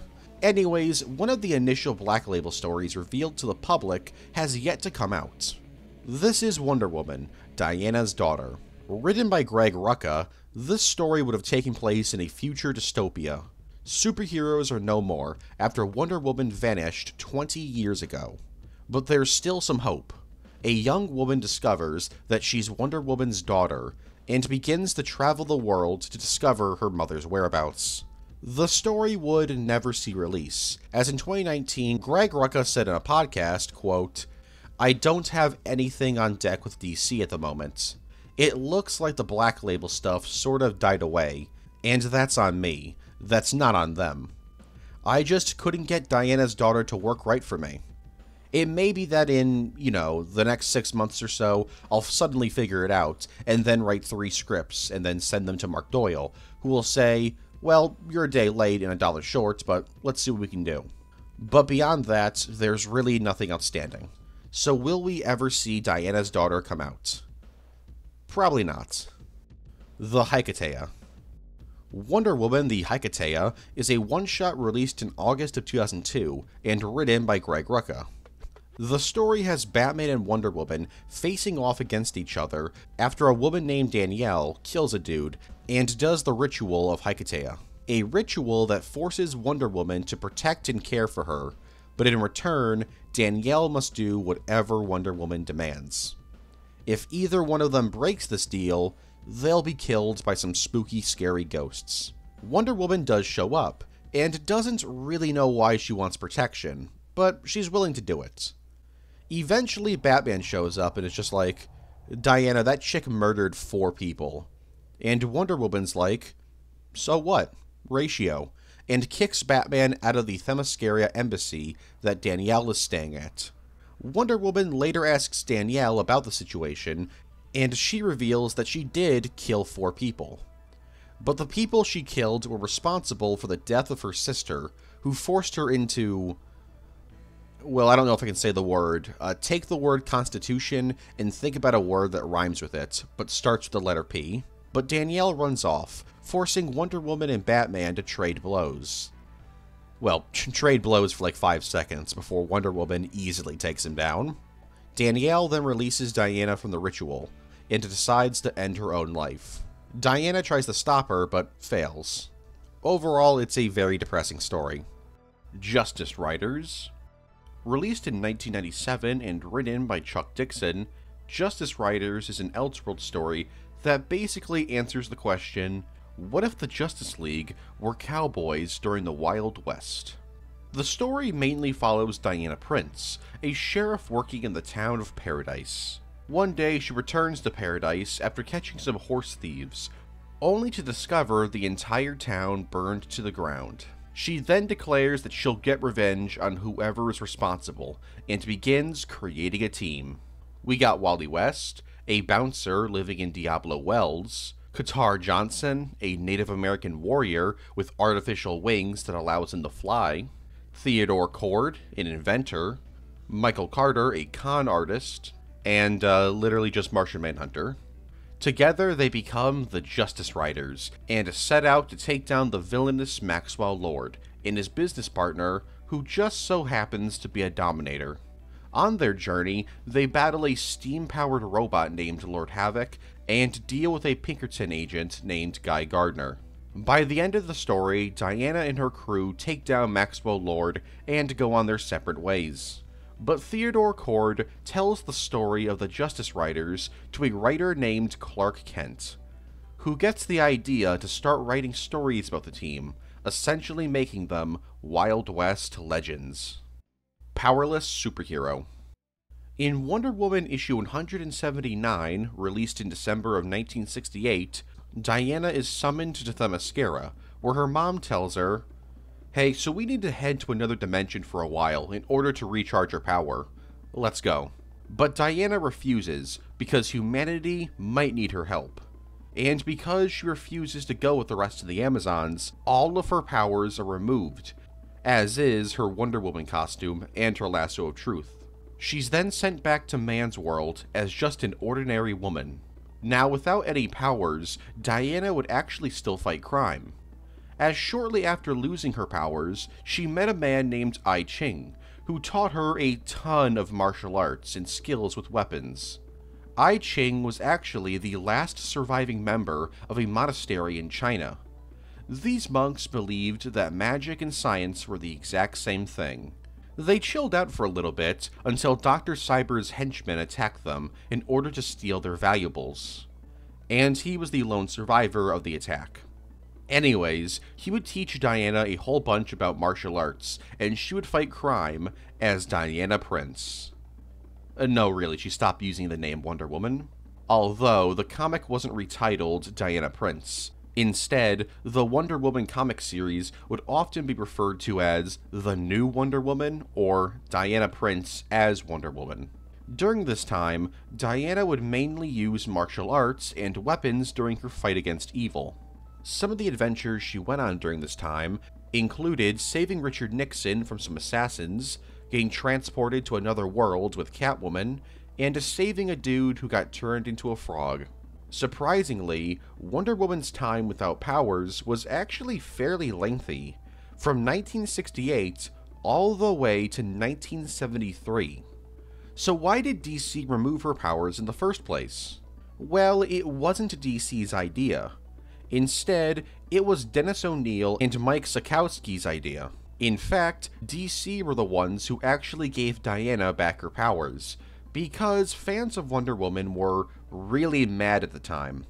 From casual fans to old school fans to feminist fans, nobody was happy with this new take on Wonder Woman. And so, in 1973, I Ching was killed off and Diana was given her powers back. Wonder Woman Amazonia. Written by William Messner Loebs and released in 1997, Wonder Woman Amazonia is an Elseworld story about Diana living in an alternate reality where Queen Victoria and her family were killed. And so, an American named Jack Planters became the King of England and created an extremely patriarchal society where women have absolutely no rights. Now, why would Jack Planters do this? Well, because Jack Planters is actually Jack the Ripper. So, this is basically a story where Wonder Woman battles King Jack the Ripper. Wild stuff. Anyways, Diana is living her best life on Themyscira when one day Steve Trevor and a bunch of soldiers show up and kill almost all the Amazons. Diana is captured and the other survivors are enslaved. And so Diana lives in London with absolutely no rights. She was even forced to marry Steve Trevor and have his kids. Eventually, Diana would have enough and become the underground resistance fighter Wonder Woman. As Wonder Woman, she inspires people to stand up to the king. She also leads a slave revolt, resulting in the deaths of both Steve Trevor and the king. Now that his father is dead, Prince Charles, who's really nice, becomes the king and marries Diana. And the two lead England into a bright future. And yes, this marriage is a reference to Charles and Diana. Real World's Wonder Woman.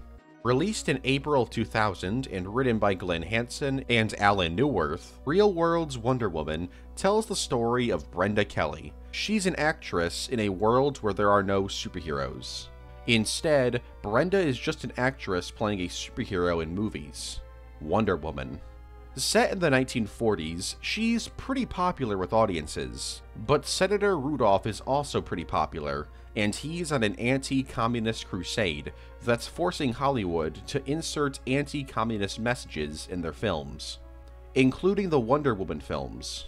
This is also during the middle of a strike that's affecting the studio, so it's kind of chaos on set. After seeing the anti communist Wonder Woman films, Senator Rudolph decides to work with the studio and use Brenda to promote him in his election campaign. And she does, doing rallies with him and even doing little plays where she battles the Red Menace. But eventually, various workers start getting fired from the studio for being suspected communists or communist sympathizers.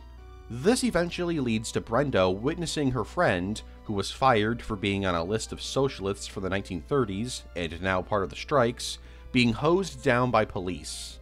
This is the final straw for her, and during a rally, she turns on Rudolph and tells the people her real thoughts. But while this is going on, a man attempts to assassinate Rudolph, only for Brenda to take the bullet instead. Because of this, she's fired from being Wonder Woman, and she goes on with her life.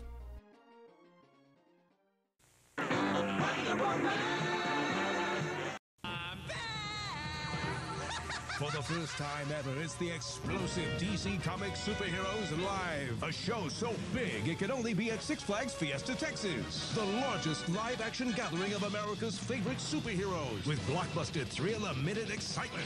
There's nothing like it anywhere. Not even at Disney. It's the all new DC Comics Superheroes Live. Only at Six Flags Fiesta, Texas in San Antonio.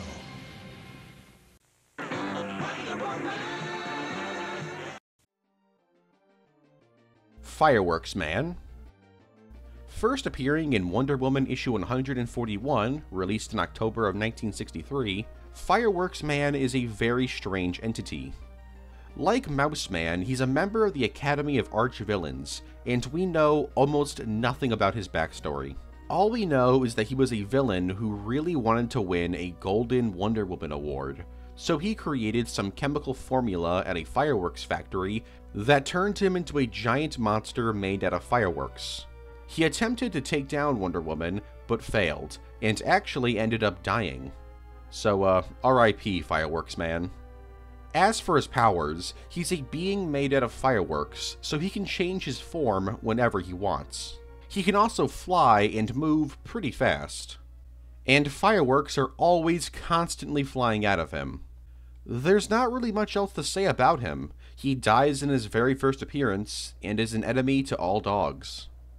While he hasn't appeared in any pieces of media, he has shown up in the Batman the Brave and the Bold comic series. Rejected Wonder Woman verse comic. In November of 2021, comic writer and artist Phil Jimenez revealed that at one point he pitched a Wonder Woman multiversal team up comic to DC.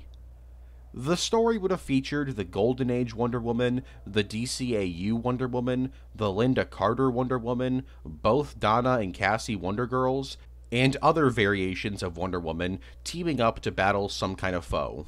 Sadly, DC rejected the pitch. Rockumentary Rockumentary is a short Elseworld story featured in Elseworld's 80 page Giant, released in August of 1999. In this universe, the heroes and villains of the DC universe are all musicians. Well, except for Lex Luthor, who runs Lex Records, one of the most successful publishers in the industry, working with iconic musicians like Doomsday and Batman. And of course, there's Diana, who in this universe is one of Lex Records' most successful artists, signing on with Lex Records for millions of dollars. Diana became extremely popular, and with popularity comes being pretty busy. And so, in the story, Diana doesn't show up outside of a single panel and says nothing, because she's too busy preparing for the Tie Me Down, Tell the Truth World Tour. Not much to say here. Kinda just wanted to include this short story to show this really insane Wonder Woman design. Novels. Marvel and DC superheroes are mostly known for their appearances in comics, video games, movies, cartoons, and live action shows.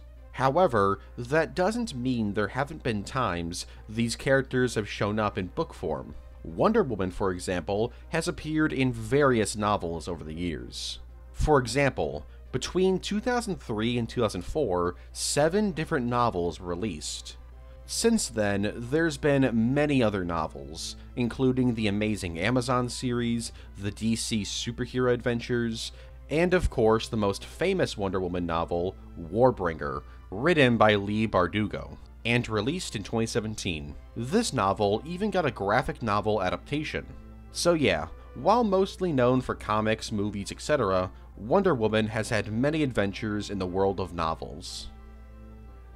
Wonder Woman 1 Million, first appearing in JLA issue 23, released in October of 1998, Wonder Woman 1 Million is an alternate universe version of Wonder Woman that lives on Venus. No, really. In this universe, the Amazons live on the planet Venus. Created as a marble statue, she was given life by the goddess of truth, who was actually Wonder Woman from the 21st century, now a god. This Wonder Woman lives in the 853rd century and works with Justice Legion A, one of the 24 Justice Legions in the future, and together they protect the universe from evil. Wonder Woman also has her own sidekick, Troy, who is also a marble statue given life. Also, Wonder Woman's name is just Wonder Woman. Yeah, she's not called Diana. As for her powers, Wonder Woman 1 Million is insanely smart and can use a form of artificial telepathy called Headnet. She can also fly, has superhuman speed, stamina, and strength. She's also got Harmony and Charity, a pair of AI controlled bracelets that create force fields.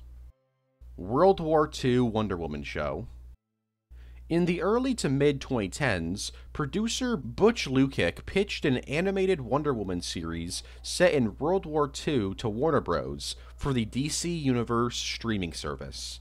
However, Warner Bros. rejected the show for two reasons. The first was that they were already developing a Wonder Woman film set in World War I, and they also didn't think a Wonder Woman project would do all that well. So the show was rejected, and Wonder Woman 2017 came out. And Warner Bros. realized, oh, a Wonder Woman project can be really successful. But they didn't return to this pitch. Instead, greenlighting a sequel in an animated film called Wonder Woman Bloodlines. However, they would eventually return to this idea, as the film Justice Society World War II would incorporate ideas that were planned for this series. Jumpa, first appearing in Sensation Comics issue 6, released in June 1942, Jumpa is a kanga. Basically, a species of animal that looks like a kangaroo and lives on Themyscira. kind of a horse kangaroo hybrid thing that can also fly for brief periods of time. And while Jumpa and the Kangas live on Themyscira, they're not originally from there. Instead, they come from the planet Nebulasta, where they were brought to Themyscira by an evil alien warrior looking to take over the island. But the alien forces were defeated by Diana, who was only seven at the time. And so the Amazons decided to keep the Kangas, mainly because they were much better mounts than the giant rabbits they were using. Comics in the 1940s were wild, dude. Anyways, Jumpa didn't really appear that much, as did his species, and for quite a while they were pretty much forgotten to time. That was until the 21st century, when I guess writers and artists remembered oh yeah, there's a bunch of kangaroo aliens that live on Themyscira. And upon remembering them, they've started to show up in a bunch of stuff ranging from the Earth 1 graphic novels, the main DC universe, DC Super Pets, DC Superhero Girls, Scooby Doo Team Up, etc. Honestly, I'm willing to bet they'll show up in the new DCU. Blue Snowman. First appearing in Sensation Comics issue 59, released in November of 1946, Byrna Brilyant was a thief turned supervillain. Originally just a teacher, she had a secret life where she would pretend to be a man in a robotic snowman suit and called herself the Snowman, though she'd later change up her armor and rename herself the Blue Snowman. She did this to extort people, and she did this by using blue sky, I mean blue snow. This was a chemical that allowed whoever used it to freeze people. However, her career of villainy caught the attention of the Holiday Girls, who told Wonder Woman all about her, and so Diana showed up and defeated her. But this wasn't the end of the Blue Snowman. She would return, now working with the supervillain group Villainy Inc., and together battled Wonder Woman a few times. However, all of their plans fell through, and she was thrown into a prison on Transformation Island. She would return post Crisis in Power Girl issue 7, released in February of 2010, where she would die in her very first appearance. Rip. Finally, they'd make their return in the post New 52 universe in Superman Wonder Woman issue 4, released in March 2014. Now gender fluid, they had a bit of an issue with the name Blue Snowman. It turns out, they didn't come up with the name. The press did. They were pretty depressed for years because they thought they were a freak. They didn't know what gender they were. But eventually they found out about the term gender fluid and realized they weren't a freak. They were just a criminal who's probably killed people before. And so they gave up their villainous ways. Just kidding, they went back to doing crime pretty soon after. Side note, in this continuity, they at one point had a kaiju sized blue snowman mech. As for their powers, while they don't actually have any superpowers, their blue snowman armor does give them superhuman strength and speed, alongside various freezing gadgets, like freeze rays and defrosting rays. They've also got a bunch of blue snowman robot minions. And the new 52 version of the character has a blue snowman airship. Anyways, as for Blue Snowman's appearances, they've appeared in Harley Quinn and Justice League Cosmic Chaos. Filmation's Wonder Woman, in 1968, the animation studio Filmation were considering creating an animated series based around Wonder Woman. This was due to the success of the show, The Superman Aquaman Hour of Adventure. However, they ultimately decided against the cartoon, along with other potential cartoons, including one based on Metamorpho and Plastic Man. And so, instead of making those shows, they just kept making cartoons based on Batman, Superman, and Aquaman. Sadly, this is all we know about this cancelled cartoon. Dimension X. In Wonder Woman issue 100, released in August of 1958, Wonder Woman arrives on Themyscira after telling Steve about how she only uses her powers for truth and justice, not for contests only for her to then partake in a contest on Themyscira to prove she's still worthy of being Wonder Woman. Anyways, after proving her talents, she meets up with Alpha, a scientist on Themyscira, who reveals that she's created a device that can send people to another dimension. Dimension X. Diana agrees to be a guinea pig for her and gets sent to Dimension X and sent back. The test is a success, except she's not alone when she returns. The Wonder Woman of Dimension X is also brought over and declares that she's a way better Wonder Woman. So the Amazons hold another contest, this time to see who's the best Wonder Woman. The contest eventually leads the pair to return to Dimension X for some challenges. It turns out this reality is a fairy tale like medieval world, and so their challenge requires them to battle a bunch of fairy tale giants. After battling the giants, it seems that Wonder Woman X is about to win, when suddenly Diana saves her from a tree boomerang. Impressed by this act of heroism, the people of Dimension X crown Diana as the Wonder Woman of both realities. Lawrence McCutcheon. Lawrence McCutcheon is a former professional American football player that played for the Los Angeles Rams, Denver Broncos, Seattle Seahawks, and the Buffalo Bills. And he has almost nothing to do with Wonder Woman. Almost. You see, he would make a guest appearance in The Deadly Sting, a 1978 episode of the 70s Wonder Woman series. It's a simple guest appearance that caused some behind the scenes issues. You see, Lawrence McCutcheon was supposed to be thrown by Wonder Woman in a scene, but he refused to let this happen. So Lynda Carter approached him and made a deal. If she could actually throw him in real life, he would let them do it in the show. He agreed, and was eventually forced to be thrown, because Lynda Carter actually did it. She threw him on her first attempt. In fact, the creators of the show used the footage of her throwing him in the show. Should also mention here that she didn't like pick him up. It was like she grabbed him and like threw him into a chair. It, it wasn't like she like lifted him up. Still pretty impressive though. Joss Whedon's Wonder Woman film. In March 2005, it was announced that Joss Whedon would write and direct a live action Wonder Woman film. Unlike the previous cancelled Wonder Woman films I talked about, we actually know quite a bit about this film's plot, as the script was leaked in 2017. The story would have focused on Diana and Steve Trevor's relationship, with Steve acting as a narrator for the film.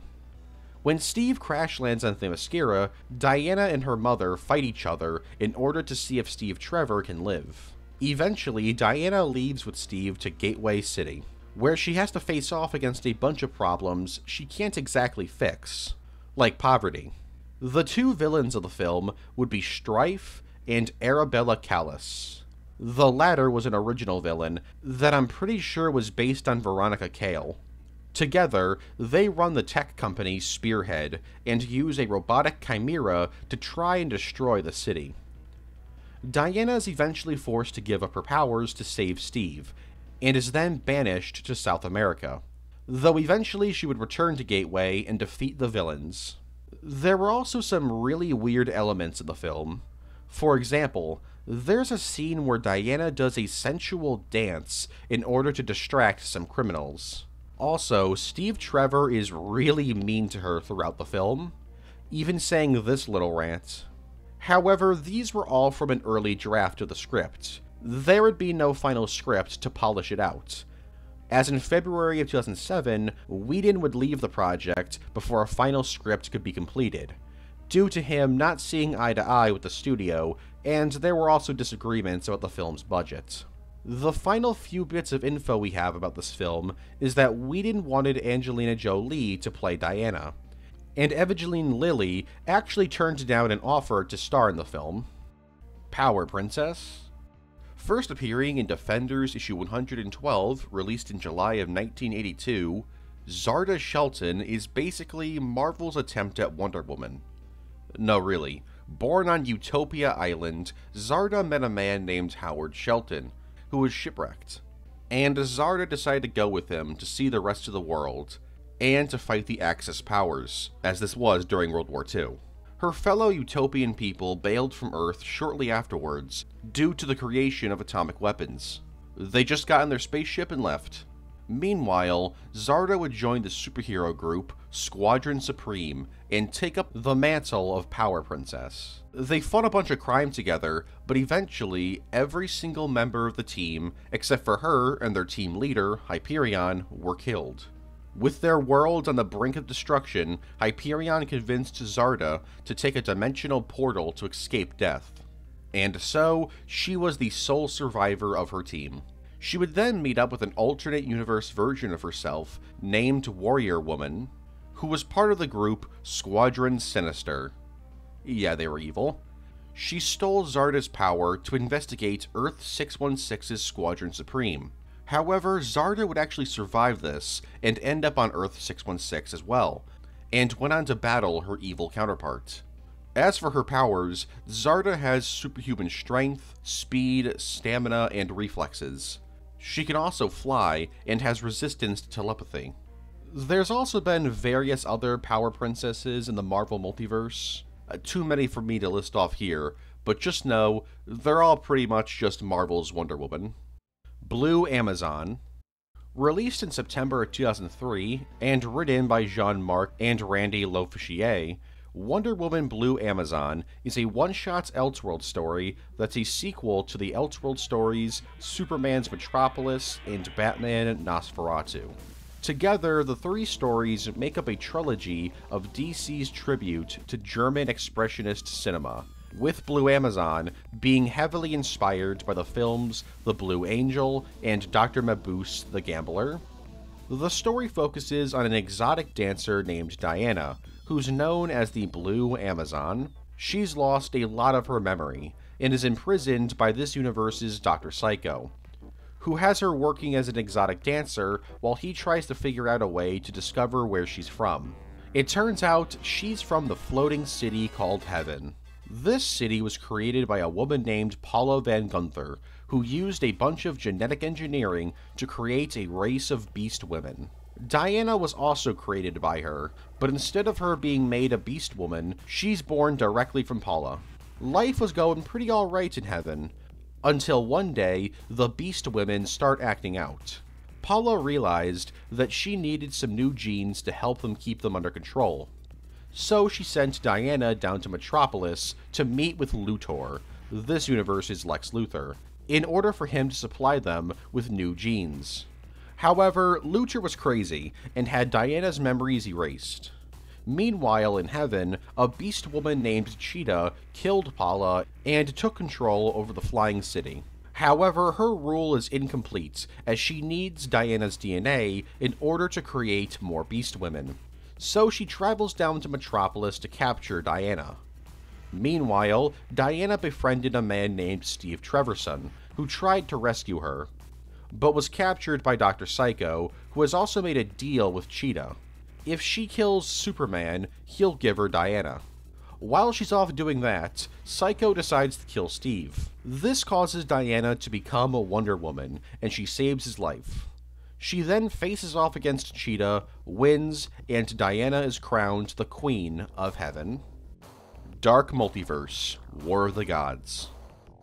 So, Tales of the Dark Multiverse was a series of one shots that told alternate endings to famous DC storylines. Written by Vita Ayla and released in December of 2020, the War of the Gods issue tells the story of what if the god Hecate was able to successfully possess Wonder Woman. Because in the original storyline, they're defeated by the lasso of truth before they can do that. So, what would happen if Hecate was successful? Well, in the story, Hecate is about to fail once again, but that's when one of her servants, Phobos, attacks the Themyscira and kills a bunch of Diana's loved ones, including her mother. This allows Hecate to take over Diana while she's in an emotional breakdown. Now fully in control, Hecate then rolls into Mount Olympus and slaughters the gods of Olympus, and shortly afterwards declares war on all of Earth's superheroes. However, she wouldn't be fighting this war for very long, as she'd be taken down by a bunch of magic users on Earth. Though in the aftermath of Hecate's onslaughts, Superman, Batman, Martian Manhunter, Wally West, Dr. Fate, Shazam, and multiple gods of Olympus like Ares, Zeus, and Hermes are all dead. And sadly for Diana, she never comes back, and Hecate, still in her body, is locked away underneath the Themyscira. The Velvet Touch. This is a scrapped episode of the 1975 Wonder Woman series. This episode would have dealt with Diana dealing with a criminal selling toxic makeup. The episode was fully written but not filmed due to Lynda Carter having an endorsement deal for the makeup company Maybelline.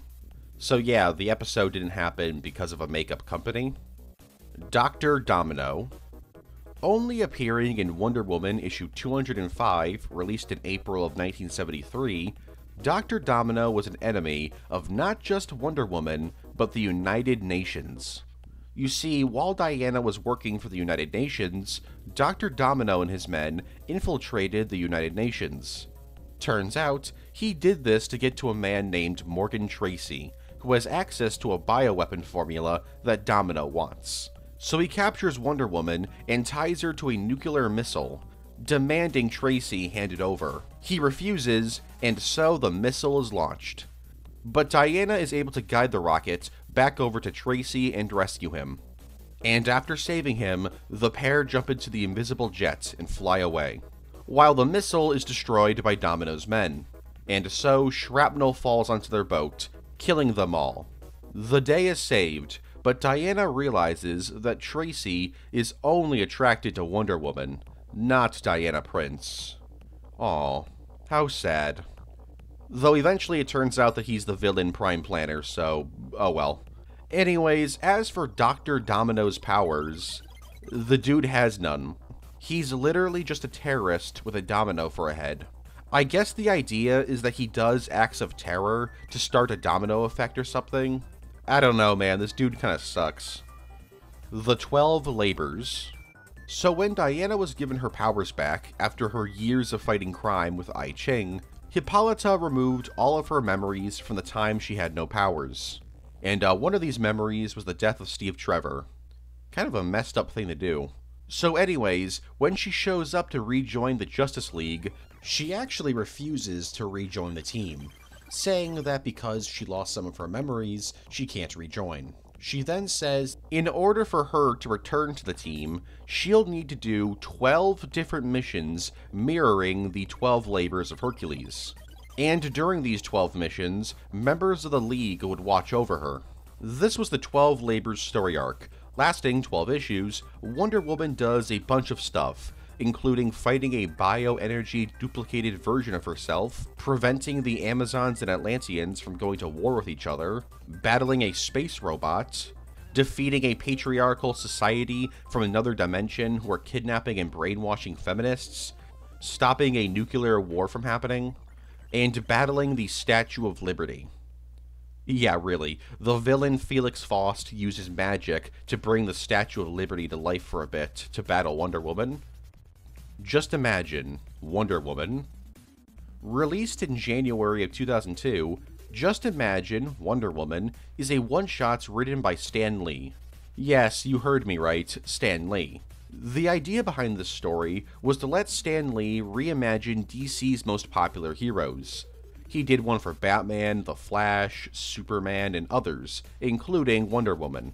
His version of Wonder Woman is a woman named Maria Mendoza. She lives in Peru and is the daughter of a local judge. Being a judge, he's got a lot of enemies, including a man named Armando Gute who's excavating a holy site, looking for some powerful ancient runes that would allow him to take over the world. Judge Man doesn't really like this, and so is killed. So, in order to get revenge, Maria sneaks into the site with the help of an archaeologist named Steve Trevor and stumbles upon the runes. There's the Dark Rune and the Light Rune. The Dark one is already smashed, so she decides to finish up the job and smash the Light Rune. And once she does that, she's given the magical powers of the Incan sun god. Or I guess a more accurate description would be that she was given a magical staff that gives her the powers whenever she's holding it. Using her newfound powers, she went over to stop Armando, who had destroyed the Dark Rune and now had superpowers of his own. And by superpowers, I mean he turned into this giant monster thing. The two battled it out, until eventually Maria straight up impaled him.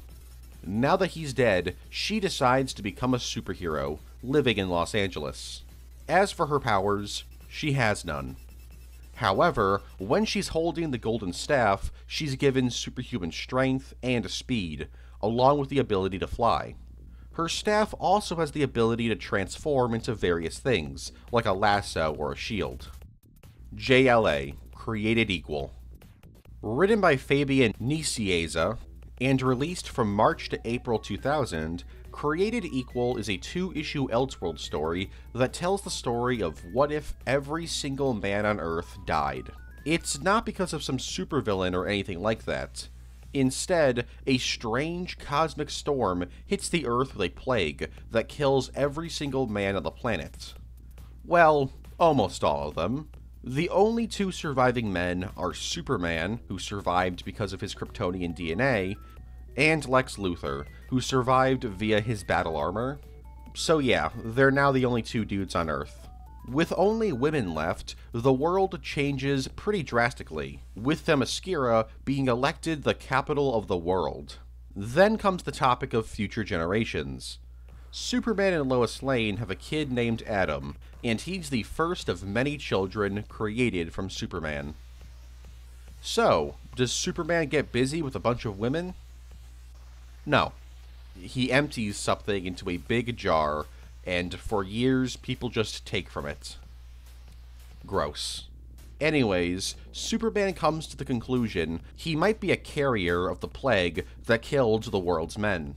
So he decides to exile himself from Earth in order to protect his children. Fifteen years go by, and the world is changed yet again, as the Justice League is now entirely made up of women with Wonder Woman leading the team alongside Power Girl, Supergirl, Starfire, and Batgirl, who's now a Green Lantern. Being an ambassador from Themyscira, Diana often speaks at the United Nations. She basically has to play politics when she's not doing superhero stuff. Also, everyone who's related to Superman has Kryptonian powers and so Lex decides to use this to his advantage and manipulates all of Superman's kids into overthrowing the woman leaders of the world. Superman then returns to Earth, and with the help of Wonder Woman, Lex is defeated. Well, I guess in all fairness, they don't really defeat him. Lex has a stroke mid fight, so I, I guess they automatically win. Dane of Elysium, first appearing in Countdown Presents The Search for Ray Palmer, Superwoman Batwoman, released in February of 2008, Dane of Elysium, aka Wonder Man, is pretty much what if Wonder Woman was a man, and insane. For years, he acted as a superhero in the world of women, being a part of that universe's Justice League. However, when he killed the gender bent Maxwell Lord, Maxine Lord, on national television, Dane was banished to his homeland, Elysium, which homed the Amazons of his world, which were all dudes. This really ticked him and the rest of the Amazons off, so they invaded the United States, creating a war between the Amazons and the combined efforts of the US Army, Justice League, Freedom Fighters, and Atlantis. Dude got owned by Superwoman, though, so the war ended.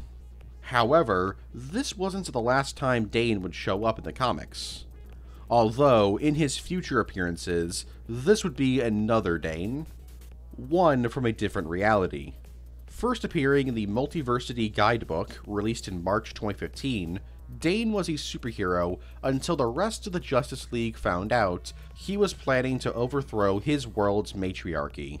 So they threw him into a cell in the Hall of Justice, and for years he was their prisoner. Until one day, he was freed by the Roman god Janus, and decided to take down his former allies and captors. Side note, he at one point was also the mentor for Wondrous Boy, aka Troy. As for Dane's powers, He's got superhuman strength, stamina, healing, and agility. He's also got the bracelets of submission and the lasso of truth. He could also fly and do super leaps. Taco Wiz. In Wonder Woman issue 73, released in April of 1993, Diana returns to Earth after being abducted for a bit. But upon her return, her apartment is gone, now being rented by somebody else. So she crashes with a friend for a bit, and that's when she realizes that she needs money to go rent an apartment. So she goes job hunting. However, for some reason, nobody wants her, despite her being a superhero and her having multiple previous jobs, including jobs working for the government. So eventually, she's forced to get a job at Taco Wiz, aka Taco Bell, but not legally Taco Bell. And so, Diana faces the harsh reality of minimum wage work at a fast food restaurant. Well, there's that, and also the weird customers. For example, there was one dude who ordered an entire plate of tacos and burritos and just ate the entire tray's worth of food in front of her at the cash register. I've never worked in fast food, but if you have, let me know in the comments below if anyone's ever done this before. Anyways, despite the weird customers, Diana is actually pretty fond of the job. Eventually, other superheroes find out about her new job and actually go and visit her, eating at the place. Eventually, Diana would quit her job, and Taco Wiz would be forgotten to time.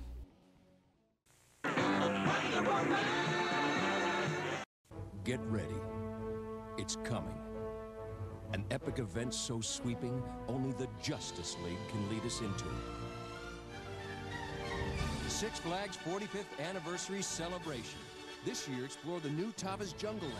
Experience ocean discovery. See Shuka's Splash Time Show, plus an all-new Bugs Bunny Parade Spectacular. Get your season pass at SixFlags.com. Six Flags Marine World. More than a theme park, it's an experience.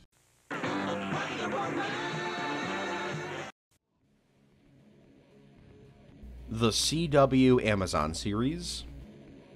In 2012, Warner Bros. and the CW began developing a series titled Amazon. This show was heavily influenced by the idea of Smallville. Basically, it would be a Wonder Woman origin story. While the show had a pilot written, it didn't get much further than that. Because the CW took interest in the Flash series instead, and fast tracked that show's creation. So Amazon was basically on the back burner. The CEO of the CW at the time confirmed that the show was still going to get made, they just needed to make some better scripts. The show was in production hell until 2016, when Wonder Woman appeared in the DCEU. And this pretty much marked the end of the series, as DC and Warner Bros. were no longer interested in a Wonder Woman story set on the small screen.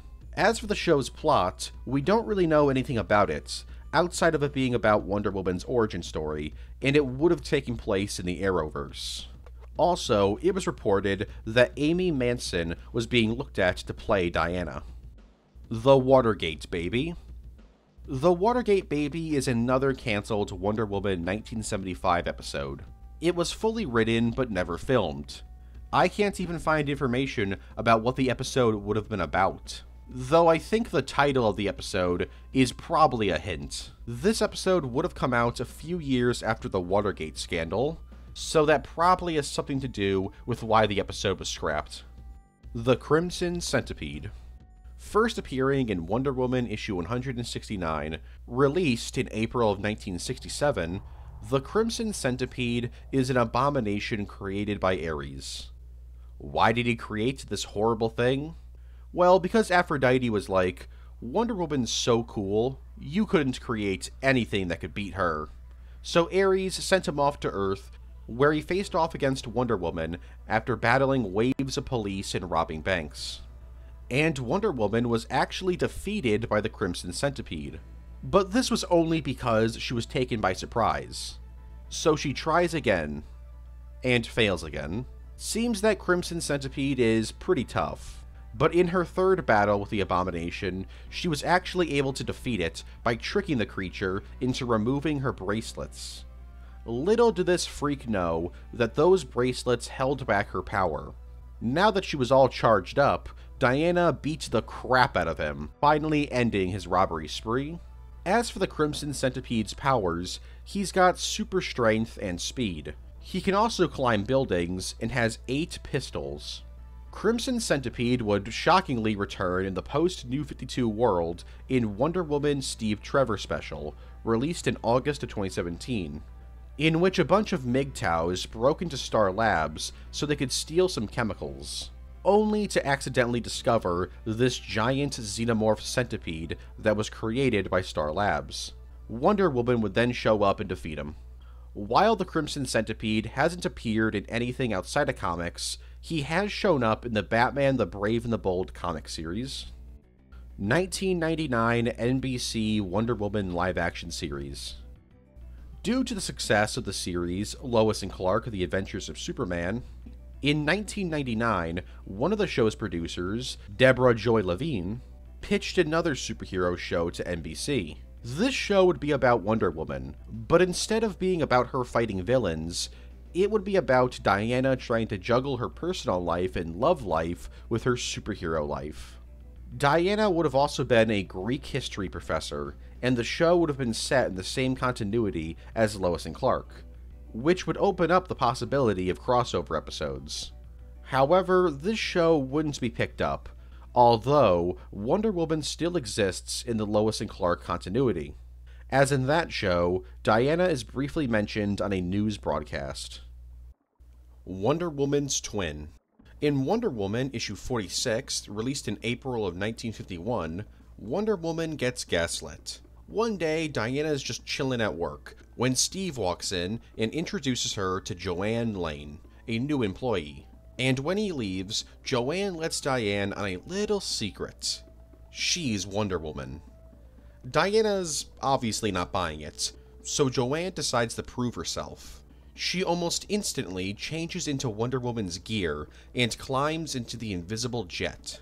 Diana's pretty confused. However, she quickly pieces it together. That wasn't the invisible jet she climbed into. She just climbed onto the roof of the building. Convinced that she's faking her abilities, Diana runs off to find her, and eventually finds her on a boat carrying some criminals. But that's when Joanne calls Diana Joanne. Diana's pretty confused, and soon gets captured by the villain Professor Jenkel. And when she wakes up, she's sitting next to another Wonder Woman, who tells her that her name is Inez Lane. Turns out, she's the twin sister of Joanne, and the two were hired by Jenkel to pose as Wonder Woman. You see, Jenkel hired the twins when he pretended to be a movie producer, and he told the pair that in order for them to play Wonder Woman in his new movie he was making, they would need to act out the script in real life. That's why Joanne started working at the place Diana works. This would draw out the real Wonder Woman, which would allow Jenkel to capture her. And right after Jenkel explains his plan, he's almost instantly taken out by both Wonder Woman. When Diana returns to work, she finds Steve making out with Joanne. Although, he's only kissing her to compare her kiss with Wonder Woman's kiss. And because of the results, he refuses to believe Joanne is Wonder Woman. Classic 1950s storytelling. The Empress of the Silver Snake. In Wonder Woman issue 252, released in February of 1979, Wonder Woman faces off against her aunt, Astarte. You see, a long time ago, Astarte was killed by Hercules, but instead of her spirit joining the afterlife, it instead traveled into space, where it eventually landed on an asteroid. And on that asteroid, she would create a robotic body out of the gold and silver in the asteroid to host her spirit. She then created a big old snake out of silver. Now traveling around space in a giant snake, she began calling herself the Empress of the Silver Snake. She also had absolutely no memory of dying. Upon meeting Diana, she believed her to be an evil spirit, and so fought her. However, upon realizing that Diana wasn't an evil spirit and instead human, she literally froze up and stopped fighting. Realizing her connection to the Amazons, Diana would bring in Hippolyta and some other Amazons to investigate the Empress. Astarte would then spring back to life and battle the Amazons, until Hippolyta explains to the Empress that she molded Diana to look like Astarte in her honor, and that she was also dead. This somehow finally reminded Astarte of what happened to her, And just like that, her robotic body fell apart and her spirit finally entered the afterlife. Wanda, First appearing in Tangent Comics' Wonder Woman, released in September of 1998, Wanda is an alien from the planet Gotham and is the Wonder Woman of Earth 9. On her world, her species discovered a way to stop aging. However, it had some pretty strange side effects, as the males of the species would become hyper aggressive brutes, while the women of the species developed powers. Not a very fair trade off, so a civil war broke out. During the civil war, a woman named Lena wished to end the war, so she created Wanda. She was given a bunch of powers and extreme intelligence, and with these gifts, she was to end the civil war as an example of what the two sides could be if they stopped fighting. And she did. Both sides stopped fighting only for them to join forces to try to kill Wanda for being an abomination. This obviously forced her to leave Gotham, and she'd eventually crash land on Earth, where she'd be found by a reporter named Lori. And when she asked who she was, Wanda responded, Wonder Woman. And so, Wanda became a superhero on Earth. With her first job as a superhero being taking down two Gotham assassins who landed on Earth with a mission to take her out. After defeating the pair, she would continue fighting crime as Wonder Woman, even joining her universe's Justice League. As for her powers, Wanda has telekinesis, telepathy, superhuman strength, enhanced senses, and she can sense others' emotions. She also has a ton of skills using bladed weapons.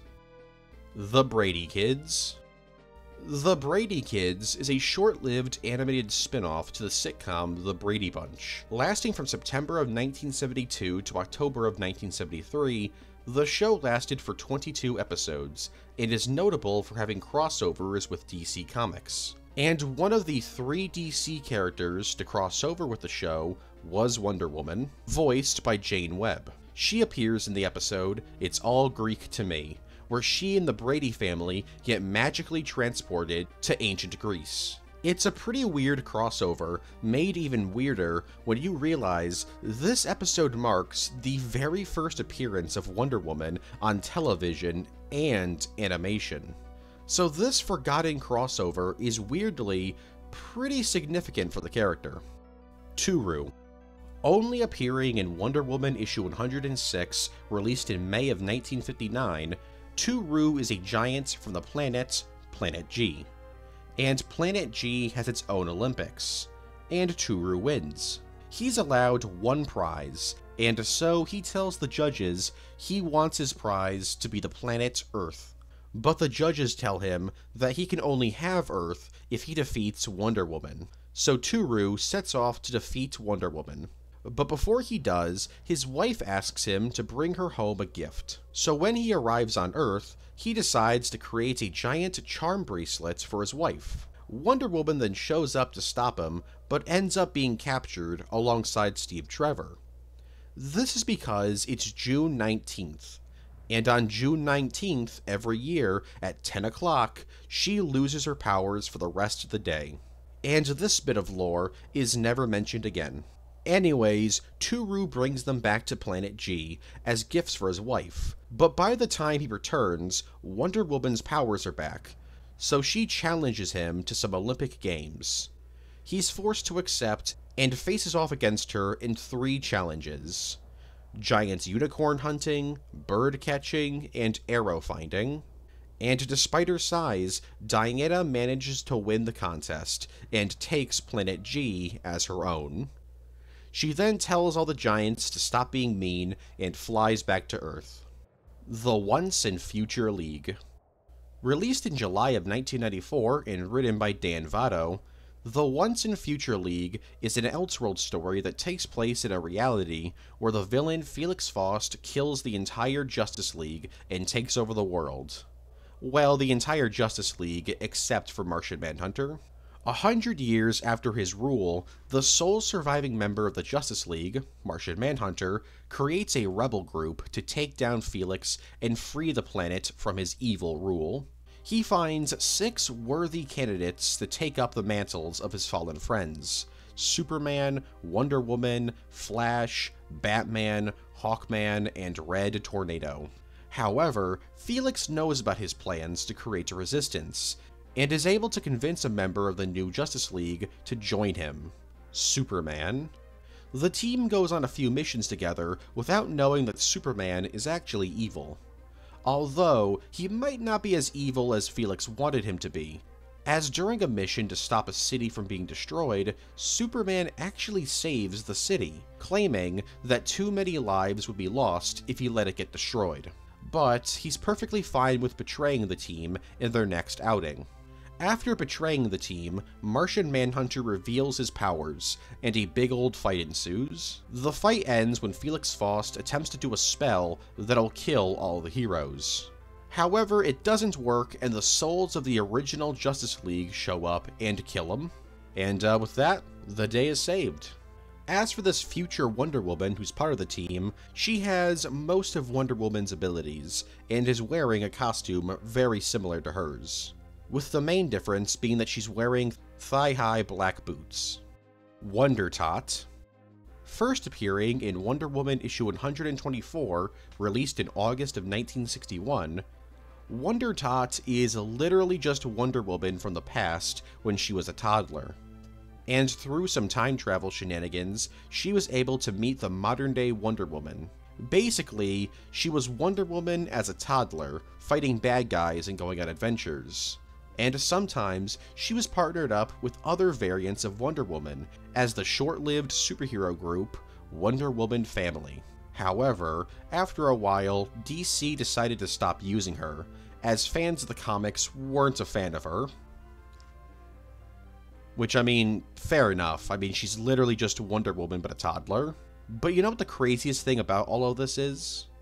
In Wonder Woman issue 158, released in November of 1965, DC writer Robert Kanigher appears in the story and summons the entire Wonder Woman family and some of their related characters to his office, where he tells them that Wonder Tot and various other characters will be retired.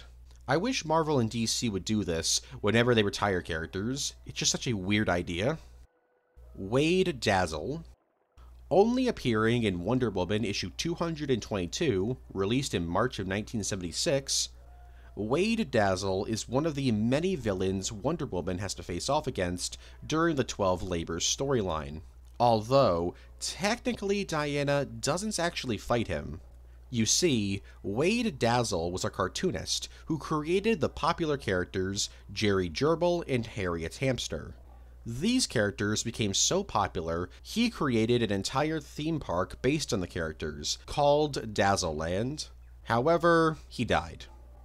Well, that was the official story. In actuality, Wade Dazzle faked his death and hooked himself up to a device underneath Dazzleland that allowed him to siphon bioenergy from park guests. This bioenergy would, in theory, give him immortality but it didn't work and he died. And you've probably guessed it already, but yes, Wade Dazzle is an obvious parody of Walt Disney. Anyways, the bioenergy taken from the park guests has actually created a duplicate of Wade Dazzle. And this duplicate creates a bioenergy duplicate of Wonder Woman in order to capture Wonder Woman so he can use her as a source of infinite bioenergy. He also creates multiple duplicates of Wade Dazzle's characters, Harriet and Jerry. However, all the duplicates are killed via acid, and the day is saved. As for his powers, he has none. He's a corpse. But his creations had the technology to steal bioenergy from people. They were also armed with guns, although these guns weren't exactly very effective. Matthew Jennison and Brent Strickland's Wonder Woman film Right before Joss Whedon left his Wonder Woman project, Warner Bros. purchased a spec script for a Wonder Woman film written by Matthew Jennison and Brent Strickland. This script impressed the executives at Warner Bros. and Silver Pictures, and was about Wonder Woman fighting in World War II. Set in 1943, the film would feature Steve Trevor crashing on Themyscira, after taking pictures of secret German blueprints. Hippolyta and the Amazons aren't really big fans of him being there, and so sentence him to death. But Diana likes him, so the pair escape in the invisible jet. The two team up and travel to Berlin to battle the Germans, before returning to Themyscira to help fend off a giant fleet of German bombers. Despite the studios liking the script, the fact that the film was set in World War II is actually what killed the project, because producer Joel Silver didn't want to make a period piece. So the script was rejected. However, because the studios were impressed with the script, Strickland and Jennison were hired to write another script in April of 2008. This script would take place in modern day and explore the history of Themyscira. And uh, that's literally all we know about it. Space Dinosaurs in Wonder Woman issue 105, released in April of 1959, Wonder Woman and Steve Trevor investigate some missing space rockets. You see, a bunch of space rockets have been going missing, and the most recent missing rocket sent back a picture of a pteranodon flying in space. Steve flies off in a rocket, while Wonder Woman follows him in the invisible jet. And shortly after leaving Earth, they come face to face with a giant flying pteranodon. The pteranodon captures the pair and flies them to Titan, one of Saturn's moons. And once they arrive on the moon, they discover the planet is inhabited by dinosaurs and other prehistoric life, like plesiosaurs and pteranodons. Not only that, but cavemen as well. Eventually, a T Rex captures Steve, which leads to Wonder Woman having to save him from being devoured by the T Rex's babies. Now reunited, Wonder Woman decides to help the cavemen and builds a giant wall to keep the dinosaurs out of their territory. Diana then telepathically gives information about the 1950s to the cavemen, in hopes that they'll start creating technology. Wonder Woman and Steve Trevor then leave Titan, and the dinosaurs and cavemen of Titan are literally never mentioned again. The Unremembered. Released in December of 1996 and written by John Byrne, The Unremembered is an Elseworld story that tells the story of a spaceship in the far future. Inside the spaceship is a woman named Alixa. She was originally part of a civilization in the ship called the Unremembered. They're the last remnants of humanity. They were all born on the ship, and it's been so long since the ship began flight that nobody remembers who built the ship or why they're even in it. The ship is filled with weird abominations, mutants that want to devour the unremembered. These are the creatures of the shadows, and the unremembered are constantly fighting them. Most of the unremembered are pretty okay with not knowing their history. But Alixa is very curious about the past, and so she leaves her community to explore the ship. She eventually comes across a monster known as a rat bat using a computer. This is pretty weird to her because these creatures aren't supposed to be sentient. But then, she's hit with visions and memories of a woman named Wonder Woman, a hero from the past. She then accesses the same computer and is hit with even more visions of the past she basically relives Wonder Woman's entire life. She then sees a colony of rat bats, and it turns out they're all sentient and they're not monsters. They have their own culture and customs. Meanwhile, the Unremembered launch an attack on the Rat Bat Hive, only to be met by the Rat Bat Alixa had seen before, now wearing a Wonder Woman costume before any more lives can be lost, Alixa arrives and stops the fighting, declaring that the Rat Bats are friends. And so the two societies mesh together and become one big happy society. Island of Dr. Moreau. JLA Island of Dr. Moreau is an Elseworld story released in September of 2002 and written by Roy Thomas heavily influenced by the original 1896 novel by H.G. Wells, the story's about a dude named Lucas Carr. He's lost at sea and is rescued by a man named Edward Ivo and his friend Komodo. Lucas is pretty thankful for the rescue, but notices that Komodo is a scaly, Eventually, he meets Captain Davis, the captain of the ship they're on, and he's not a fan of all the animals that Edward and Komodo are hauling. But he quickly forgets about Captain Davis as they've arrived at their destination and are met by Dr. Moreau and his crew of furries. I hate the dolphin one. It just, I hate the way it looks. Anyways, some of these animals are Bernardus, who has an arm made out of electric eels that generates electricity, Jubatus, who has super speed powers, Delphinius, who can swim pretty well, and Diana, who is super strong. Lucas is taken in by Dr. Moreau, and that's when he remembers reading about this dude. Turns out, Dr. Moreau was wanted by authorities for cruel and horrifying experiments. And these experiments led to the creation of these furries. Turns out that Edward Ivo is also in on this. And the pair are using the animals Edward brought over to create more human animal hybrids. Lucas is horrified by what they're doing and investigates the Furry League, and that's when he discovers they're all sentient and can speak English. They even got their own laws, and are pretty strict about following them. Soon enough, the animal people, both doctors and Lucas, head back to the mainland to show the world that these animals can be used as humanity's servants and their protectors. But nobody's buying it so Moreau declares that he'll have the creatures catch Jack the Ripper in order to earn the respect of the people. And they do. Except Jack the Ripper is not what they thought. Turns out, he's an orangutan human hybrid created by Dr. Moreau. He asks the justice animals to join him, but Diana just instantly kills him. But that's when she and the rest of her companions first taste blood. This creates tension in the group, and eventually a civil war breaks out between the animals. One side is loyal to Dr. Moreau, while the other side wants to rule for themselves and be free. They fight each other until eventually they all kill each other. With all of them dead, Lucas burns all of Dr. Moreau's research, making sure nobody can create these beasts ever again.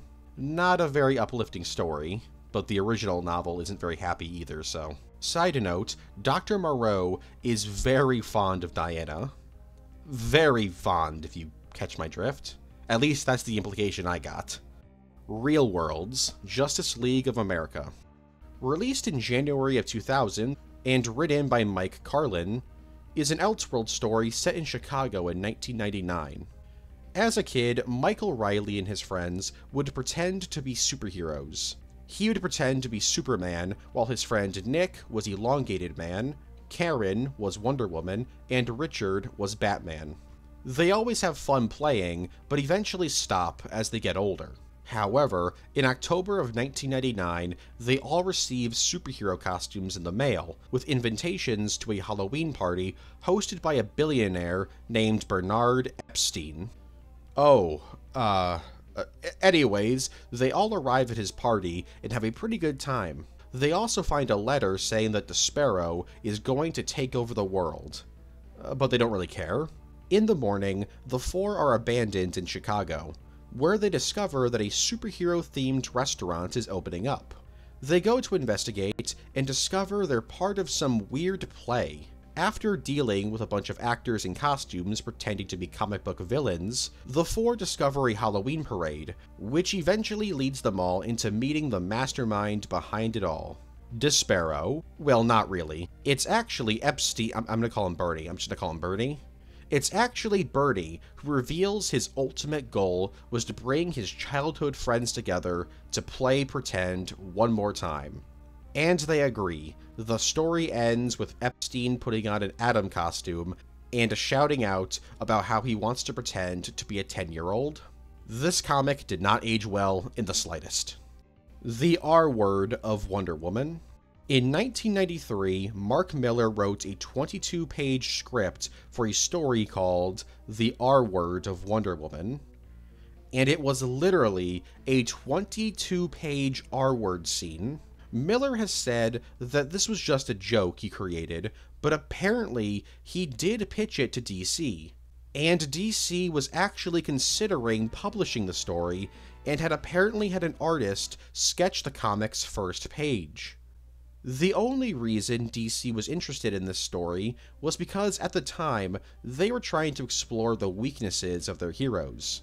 So, you know, Batman had his back broken, Superman died, and Wonder Woman would be R worded. Yeah, this comic is not only really messed up, but it's also just like a genuinely terrible idea for a story. Luckily, the comic was cancelled after DC writers and artists began complaining about it.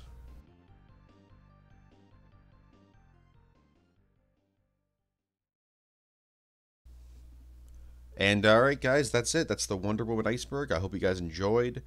Um, I'm going to be real with you. This is going to be a very short outro because I am exhausted. Um, uh, yeah, I'm just I'm just really tired of uh, working on this. Uh, I mean, it was a fun. I mean, it was fun research and all that, but like editing and especially the writing part and the voice acting, like just like the voiceovers, just it's it, it's not it's it's uh it's my least favorite part about the uh, thing. Actually, editing's not bad. It's the voiceovers that uh, I really hate doing. But yeah, uh, hope you guys enjoyed. Uh, leave a comment below. You know, what's your favorite Wonder Woman uh, character? What's uh, story? Do you like Wonder Woman eighty four? Uh, you know, what's uh, what do you are you hoping that Gal Gadot continues to play Wonder Woman in the DCU? Probably she probably won't, but I don't know. We'll see what happens. I guess. But yeah, with all being said, have a good one, guys. Stay safe. I'll see you guys in the next video stay tuned for uh, that, I guess. All right, see ya. I just got Wonder Woman! Golden armor! I just got Wonder Woman! Woo! Wonder Woman!